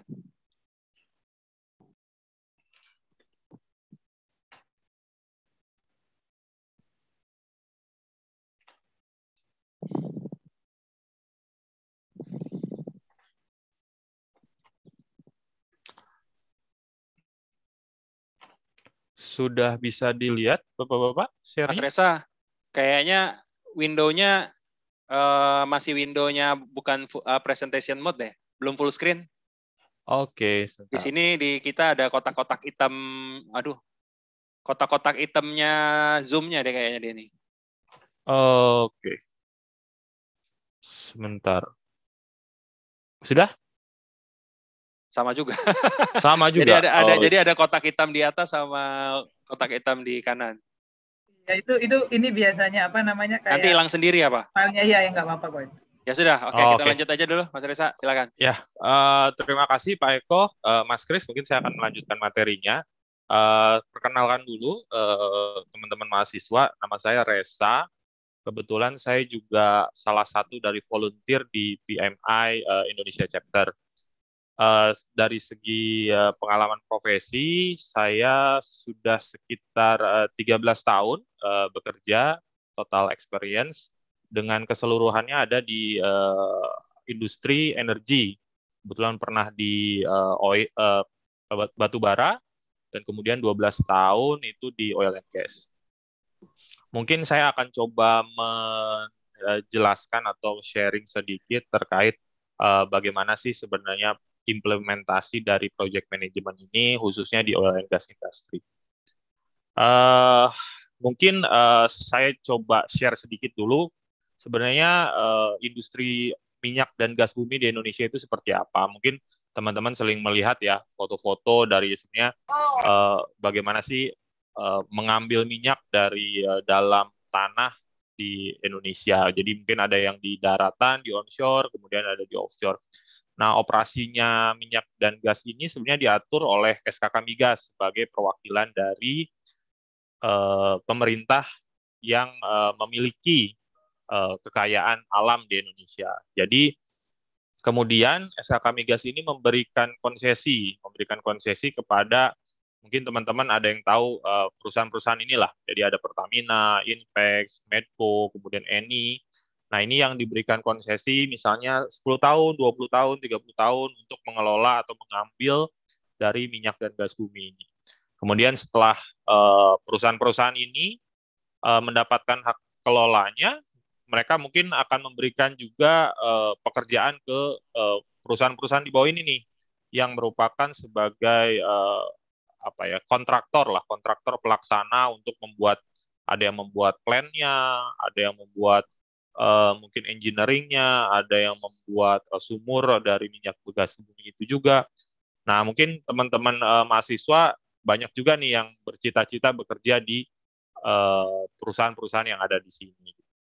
Nah, yang saya mau eh, tekankan di sini, saya itu bekerja di eh, sini di di perusahaan yang mendapatkan hak kelola dari SKK Migas. Jadi eh, apa yang saya ceritakan itu adalah secara view adalah yang eh, yang saya lakukan ketika memimpin proyek yang eh, di- diberikan kepada eh, perusahaan yang tipe ketiga dan saya juga harus melapor kepada pemerintah yaitu SKK Migas seperti itu. Nah sebenarnya kalau tadi teman-teman uh, Mas Kris juga udah coba share ya, jadi sebenarnya proyek itu seperti apa. Nah mungkin saya mau nanya nih ke teman-teman, uh, mungkin saya coba contohkan yang dekat-dekat dengan uh, teknik mesin. Misalnya uh, kita mau melakukan perawatan diesel engine yang uh, periodik 4.000 hours. Itu menurut teman-teman itu uh, proyek atau tidak? Coba bisa di-share nggak di chat misalnya iya tidaknya aja, yes atau no-nya coba. Ada yang bisa kasih uh, di chat misalnya? Belum ada? Belum, belum ada. Nah, Pak. Oh, tidak katanya, ah, Pak. Ah, Mas Reski nih bilang tidak. Kenapa nih Mas Reski kira-kira uh, bisa dibilang bukan proyek? Oh, Mas Fajar bilangnya iya. Kenapa nih Mas Fajar? Ada yang ini? Ada yang mau uh, ada yang mau kasih saran? Oke, okay, oh, kalau nggak ada, aja mungkin nggak apa-apa. Nggak ketik aja boleh. Ah, menurut Mas Reski tidak bersifat unik dan tidak periodik. Boleh. Oke. Kita coba uh, tahan dulu ya.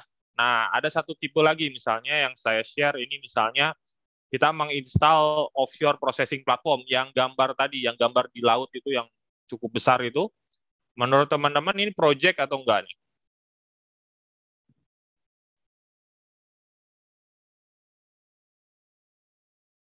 Oke, kata Mas eh, Nur Rahman, kata Mas Ega, project. Nah, kemudian ada satu lagi yang ketiga. Misalnya penggantian crude oil pompa, pompa crude oil misalnya. Ini project atau bukan?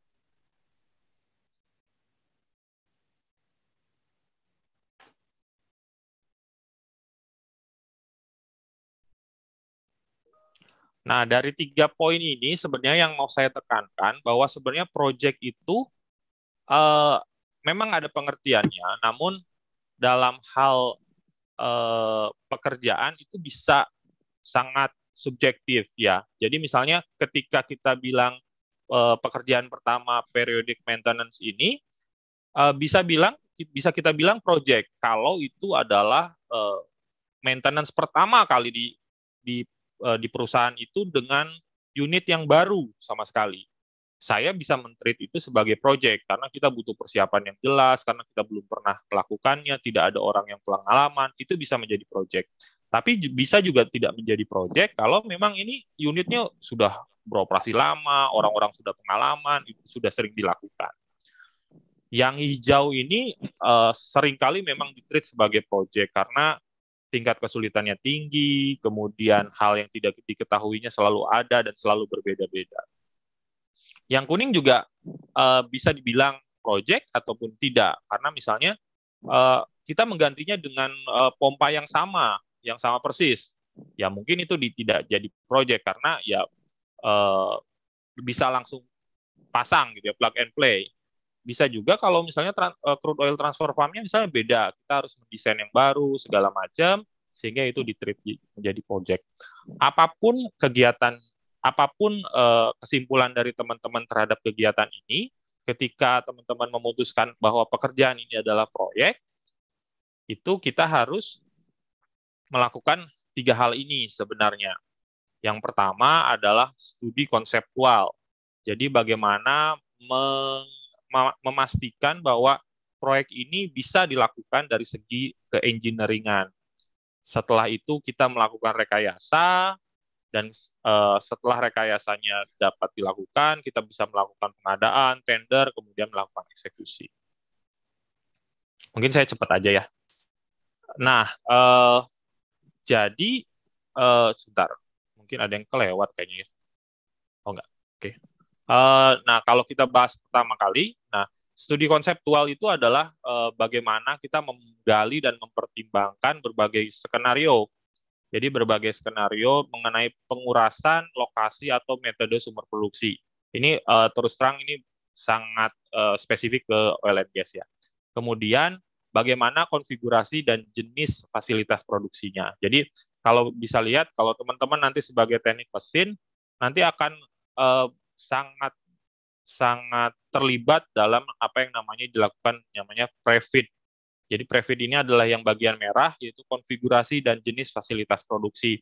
Nanti uh, di situ di uh, studi konseptual itu nanti akan pertanyaannya misal apakah kita pakai diesel engine atau pakai gas engine atau kita apakah menggunakan uh, vertical vessel atau misalnya horizontal vessel dari teman-teman teknik mesin atau misalnya apakah kita melakukan uh, pekerjaan ini uh, secara simultan atau uh, paralel seperti itu uh, berbagai macam pilihan ini akan dijelas di, di apa di, dicari dan dipertimbangkan di sini setelah studi komersial uh, studi konseptual kita masuk ke yang namanya FID atau yang di, uh, kalau di singkatannya itu front end engineering design. Nah, di front end engineering design ini uh, pada intinya bagaimana kita menyiapkan data-data yang yang akan kita gunakan untuk uh, project itu sendiri.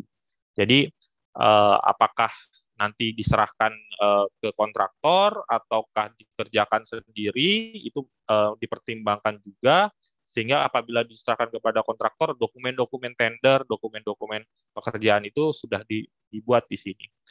Nah, kemudian inilah uh, mungkin inti dari pekerjaan uh, proyeknya sendiri yaitu konstruksi. Jadi konstruksi kita mulai dari instalasi, jadi kita memasang gitu ya, memasang apa yang sudah kita uh, detailkan pada fase sebelumnya.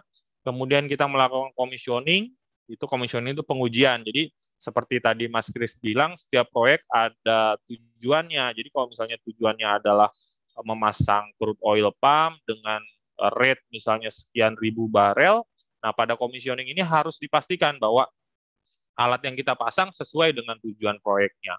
Kemudian kita melakukan startup, eh, jadi alat itu dipakai di dalam kondisi real, apakah benar mendeliver value yang kita mau, kemudian kita melakukan handover. Handover ini kita berikan kepada tim operasi. Nah, proyek-proyek ini. Nah, dalam melakukan proyek, uh, sebenarnya kita uh, menggunakan istilah project management team di uh, industri oil and gas. Project management team itu adalah semua personel-personel yang terlibat dalam proyek, baik dari segi owner maupun dari segi kontraktornya. Nah, PMT ini dipegang oleh seorang project manager yang bertanggung jawab kepada manajemen kontraktor K3S. Nah, K3S itu yang tadi saya ceritakan ada Pertamina, Chevron. Nah, eh, apa sih sebenarnya tanggung jawab dari manajer proyek? Jadi ada menurut SKK Migas yang dari eh, government sebenarnya ada sekitar 17 tanggung jawab yang harus diemban oleh seorang manajer proyek. Yang saya mau highlight itu um, tanggung jawab dari 1 sampai 9. Kalau teman-teman lihat, ini hampir sama, bahkan sama persis dengan apa yang di dijelaskan oleh Mas Kris sebelumnya. Jadi kita mereka harus uh, manajer proyek itu harus bertanggung jawab pada integrasi dari uh, proyeknya, lingkup lingkup proyeknya, waktu pelaksanaannya, biaya pekerjaannya, kualitasnya.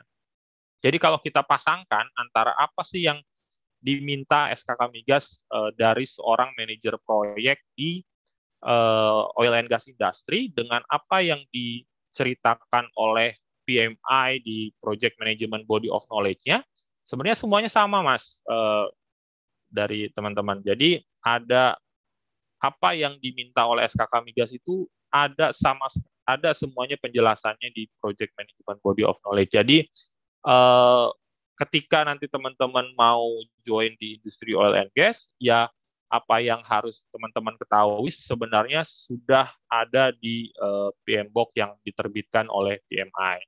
Jadi dari situ harapannya teman-teman dengan mempelajari PMBOK ini dan uh, join di CAPM atau misalnya di PMP, harapannya itu bisa membantu teman-teman untuk berkiprah lah di uh, dunia oil and gas seperti itu. Itu aja mungkin karena waktunya sudah uh, dekat dan ada jumatan ya. Jadi itu. Itu aja Mas Eko kalau dari saya. Monggo kalau dila mau dilanjutkan uh, sesi tanya jawabnya. Oke. Siap, terima kasih Mas Reza. Mas Ya. Reza ini atau Mas Betul. Ilham? Resa, Resa. Oke Mas Reza, terima kasih banyak. Hmm.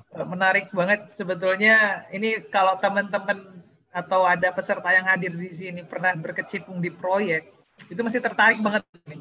Dan atau yang belum tahu proyek, nanti kalau teman-teman kerja itu, ini butuh ilmu ini gitu. Karena apalagi di engineering itu orang banyaknya orang-orang project rata-rata dibandingkan orang engineering itu ada orang industri yang dia megang satu proses, jadi tiap hari ngurusin proses itu aja. Nah, ada orang-orang project yang memang tiap hari ceritanya beda-beda. Itu mungkin Mas Reza sama Mas Kris mengalami ya Mas ya. Jadi Ya. banyak tantangan nih. Wah, itu engineering nggak terlepaskan itu. Ya, betul. Gitu. Oke, eh, menarik sekali dua pemateri. ini. Ini materinya boleh di-share Mas Reza dan Mas Kris Sudah di- tak kirim ke email yang teknis mes- teknik mesin itu loh. teknik. Kalau Tapi Mas nanti Reza, nanti ya ku coba combine uh, materinya terus nanti tak kirim lagi Mas Eko ya Oh iya iya oke. yang oke, siap. finalnya. Oke, ini karena beberapa peserta menanyakan materinya, Pak. Ya, pasti nanti dikirimkan. Oke, siap. Eh, terima kasih. Ini ada eh, pertanyaan, kita lanjut ke pertanyaan ini. Ya. Masih ada waktu sekitar 10 menit lagi, ya, Pak. Eh, sampai kita menuju akhir, nggak kerasa ini. Ya, Mas Eh, Eko. pertanyaan selanjutnya itu dari Ega Hamam. Izin Oke. bertanya, apakah poin penting pertimbangan untuk pemilihan siklus hidup yang tepat terhadap suatu proyek? Oke. Uh, tadi Mas Kris atau Mas Reza Ya. yang berjawab. Tadi saya udah tekankan ya sebenarnya di awal eh, ini sangat eh, berkaitan. Yang pertama itu kita bicara dari sisi eh, ruang lingkup atau scope dari proyeknya itu sendiri, ya Eh, Mas Eko atau dari siapa Mas Ega ya tadi yang jawab. Oh, Saya Ega, sorry, iya Mas Ega. Jadi eh, kenapa? Karena tadi eh, sebenarnya apakah semua kalau kita bertanya ya sebenarnya apakah semua proyek bisa dijalankan secara eh, prediktif atau waterfall? Yes, bisa. Apakah semua proyek bisa kita jalankan dengan bentuk adaptif atau uh, uh, agile? Bisa, bisa, gitu. Tapi tadi ini lebih kepada bagaimana kita mengetahui dari sisi ruang lingkup. Oke, yang pertama tadi saya uh, katakan bahwa untuk dari sisi prediktif bahwa scope atau ruang lingkupnya itu sudah banyak kita ketahui. Bahkan tadi saya katakan 90 sampai 95% kita bisa tahu. Kenapa? Sehingga begitu kita melakukan tadi kan itu ikonnya saya kan kayak kaca pembesar kemudian urutannya tahu. Kenapa? Karena nanti flow-nya itu sama. Inisiasi kalau secara saya ikut dari apa IT kita ada yang nama software development life cycle atau kita bicara apa uh, proses itu kita bicara ada requirement gathering. Artinya apa? Semua requirement kita godok semua di situ. Apa yang menjadi scope project kita bicarakan di situ, kemudian begitu itu selesai, itu kita cap, istilahnya dicap darah lah itu. Artinya tidak boleh geser dari itu. Kemudian kita coba execute berdasarkan requirement yang kita ada, kita testing berdasarkan requirement yang ada. Nah, itu kalau kita bicara prediktif. Sayangnya, atau bukan ya bukan sayang ya, banyak yang orang yang belum tahu maunya apa. Kayak Mas Eko bangun rumah, gitu. saya tahu mau bangun rumah, tapi saya nggak tahu nggak tahu detailnya sebenarnya gitu. Mau bentuknya kayak gimana? Akhirnya apa? Saya pilih ya sudah gimana caranya saya pilih siklus yang bertahap. Saya tahu bentuknya kayak gini, tapi saya tahu dalamnya nanti ya belakangan. Akhirnya apa? Saya tahu depan 50% dari scope, sisanya ya sambil jalan. Saya pilih adaptif, agile. Misalnya seperti itu. Artinya apa? Scope itu menentukan. Yang kedua bisa jadi juga kita tadi budget. Kita bicara budget artinya bagaimana kita metode pembayaran kita tadi gitu. Ada yang misalnya modelnya lamsam, jadi misalnya seperti project dari prediktif, oke, saya kasih lamsam sesuai milestone ya Pak, lima kali aja. Gitu. Artinya apa? Saya punya budgetnya Pak dalam tiga bulan gitu. Saya coba arrange bantu. Tapi kalau saya tahu misalnya ah, saya baru pengusaha kecil, mungkin saya nyicilnya baru sedikit, nggak bisa langsung sekali gebuk, misalnya gitu, lamsam begitu.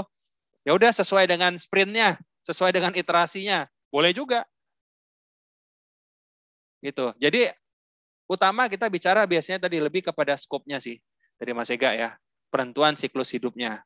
Mana yang paling baik kita pilih, termasuk kombinasi dari sisi skop itu approach-nya seperti apa. Biasanya dari timnya kita sudah memberikan banyak input bahwa oh ini kira-kira tidak bisa nih dieksekusi kalau dalam model e, apa eh, agile atau kita model adaptif harus prediktif nih pak. Gitu. Jadi kita tidak bisa modelnya uh, cang-cang potongan-potongan kecil gitu yang kita kumpul kita rangkai. Ini harus jadi project jadi jadinya seperti ini kemudian execute seperti ini. Nah itu bedanya. Gitu ya mas Eko. Oke siap. Super sekali mas Kris uh, ini ada satu pertanyaan terakhir mungkin ini mohon maaf untuk teman-teman yang sudah memberikan pertanyaan namun tidak bisa ditanyakan karena terbatas waktu. Ini masih banyak sebetulnya Mas Reza. Oh gitu. ya. Boleh Tapi di karena, email nanti kalau misalnya memang masih tertarik kita okay. bahas di email. ya. Ini karena nah ini mungkin ada satu pertanyaan yang saya pilih karena terkait fenomena yang terjadi saat ini di Indonesia. Ya. Itu dari Vivian izin bertanya Pak, jika ada suatu proyek yang masih berjalan namun terindikasi terdapat tindak korupsi dalam manajemennya, apakah okay. proyek tersebut diberhentikan selama penyelidikan atau tetap berjalan?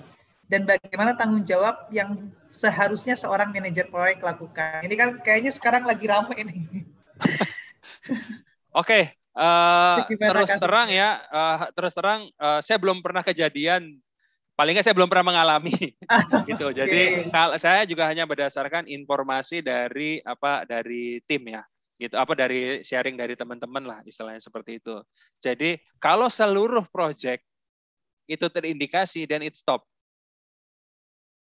Stop dan Yes, stop gitu. Tapi kalau kita tahu bahwa ternyata ada beberapa bagian saja yang bisa dengan cepat diganti dan itu bisa lanjut. Artinya apa? Project itu kan kita sebagai PM kita bisa tahu bahwa ketika uh, tadi kita bicara procurement dan kita harus lihat tanggung jawab daripada uh, tindakan korupsi yang terjadi gitu. Korupsi itu tadi lebih kepada secara keseluruhan tadi ownernya, ownernya yang kena tuduh atau dari timnya. Kan bicaranya seperti itu sudut pandangnya. Tapi kalau di sini ya. kita bicara sudut pandang adalah oh owner yang punya project nih, semuanya dimintain jatah dan lain-lain, itu bisa di stop. Kenapa? Karena semua harus dicek setiap bagian.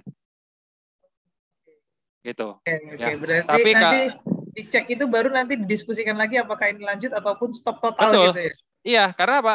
Tadi budget itu kan punya angga eh project kan punya anggaran, Mas. Ya. Begitu kalau sudah itu sudah di istilahnya dipotong karena tadi entah karena korupsi dan lain-lain, artinya kan angka yang tertera di dashboardnya kita itu kan sudah tidak sesuai, Mas. Artinya kita akan running, artinya apa? Secara sumber daya pasti berkurang. Ya kan? Secara resource saya tidak bisa gaji orang. Iya dong, pasti.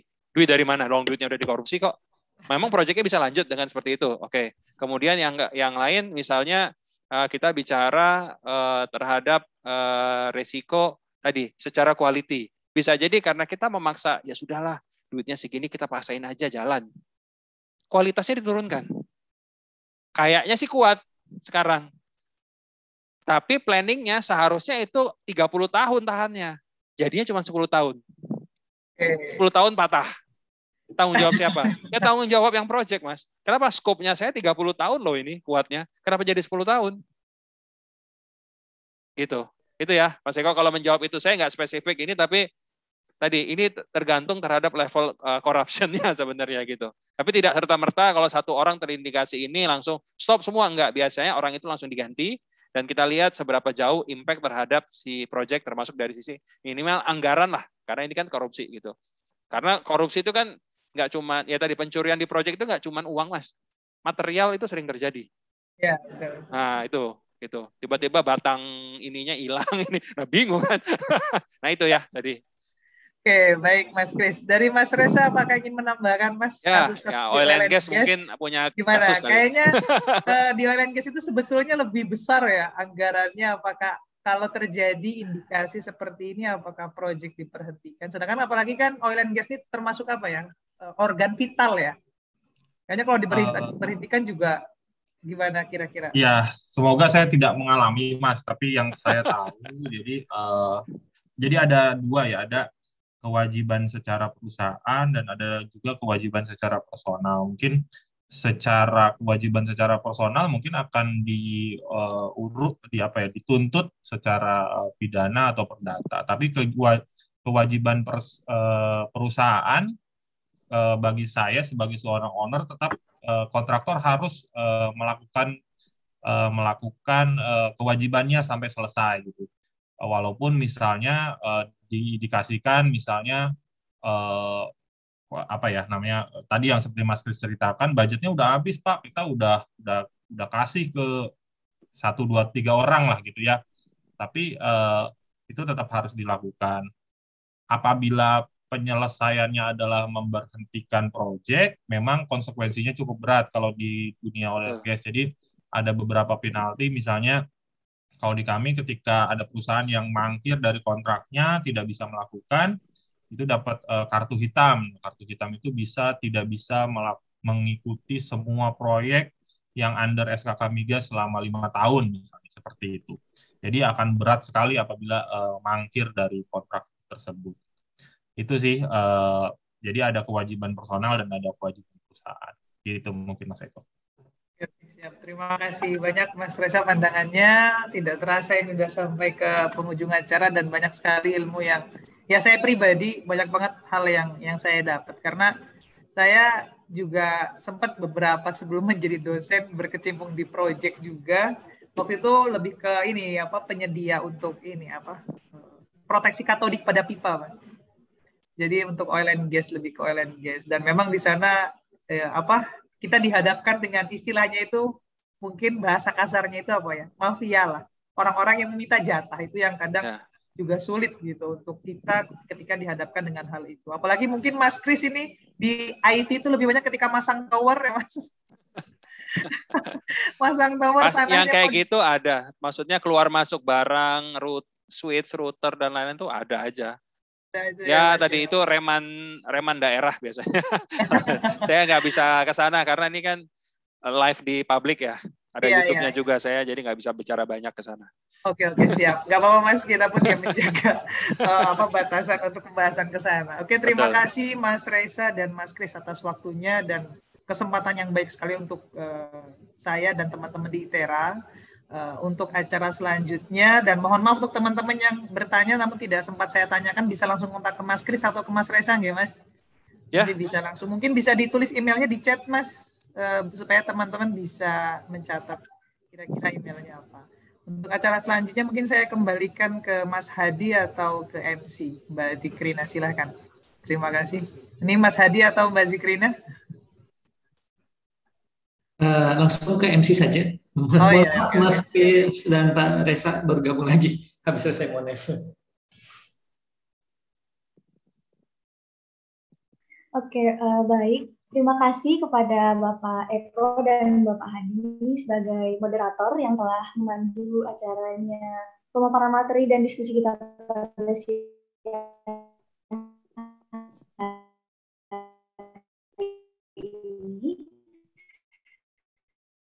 Kemudian terima kasih banyak juga kepada Bapak Kris dan Bapak Reza atas pemaparan materi seminar yang telah mengikuti jalannya yang didapatkan dapat uh, bermanfaat dan dapat diaplikasikan ke depannya.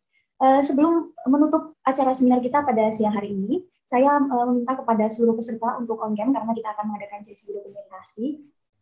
Boleh silakan on cam untuk para pesertanya.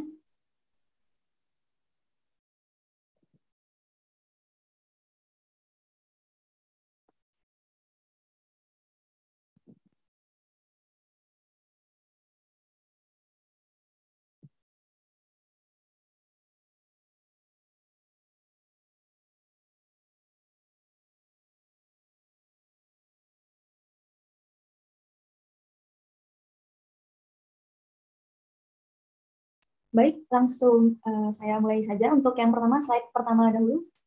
Silakan senyum. Satu, dua.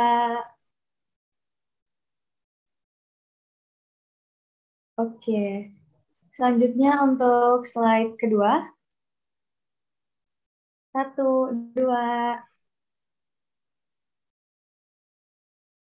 Oke. Selanjutnya untuk uh, slide terakhir. Oke, satu, dua. Oke, baik. Eh, dengan berakhirnya sesi dokumentasi kita pada siang hari ini, maka berakhir pula lah acara kita. Saya sebagai pembawa acara, mohon maaf apabila ada kesalahan. Wabillahi taufiq walhidayah. Wassalamualaikum warahmatullahi wabarakatuh. Terima kasih. Terima kasih banyak. Terima kasih banyak, Mas Adi. Terima kasih semua Mas. Kris, Mas. Resa.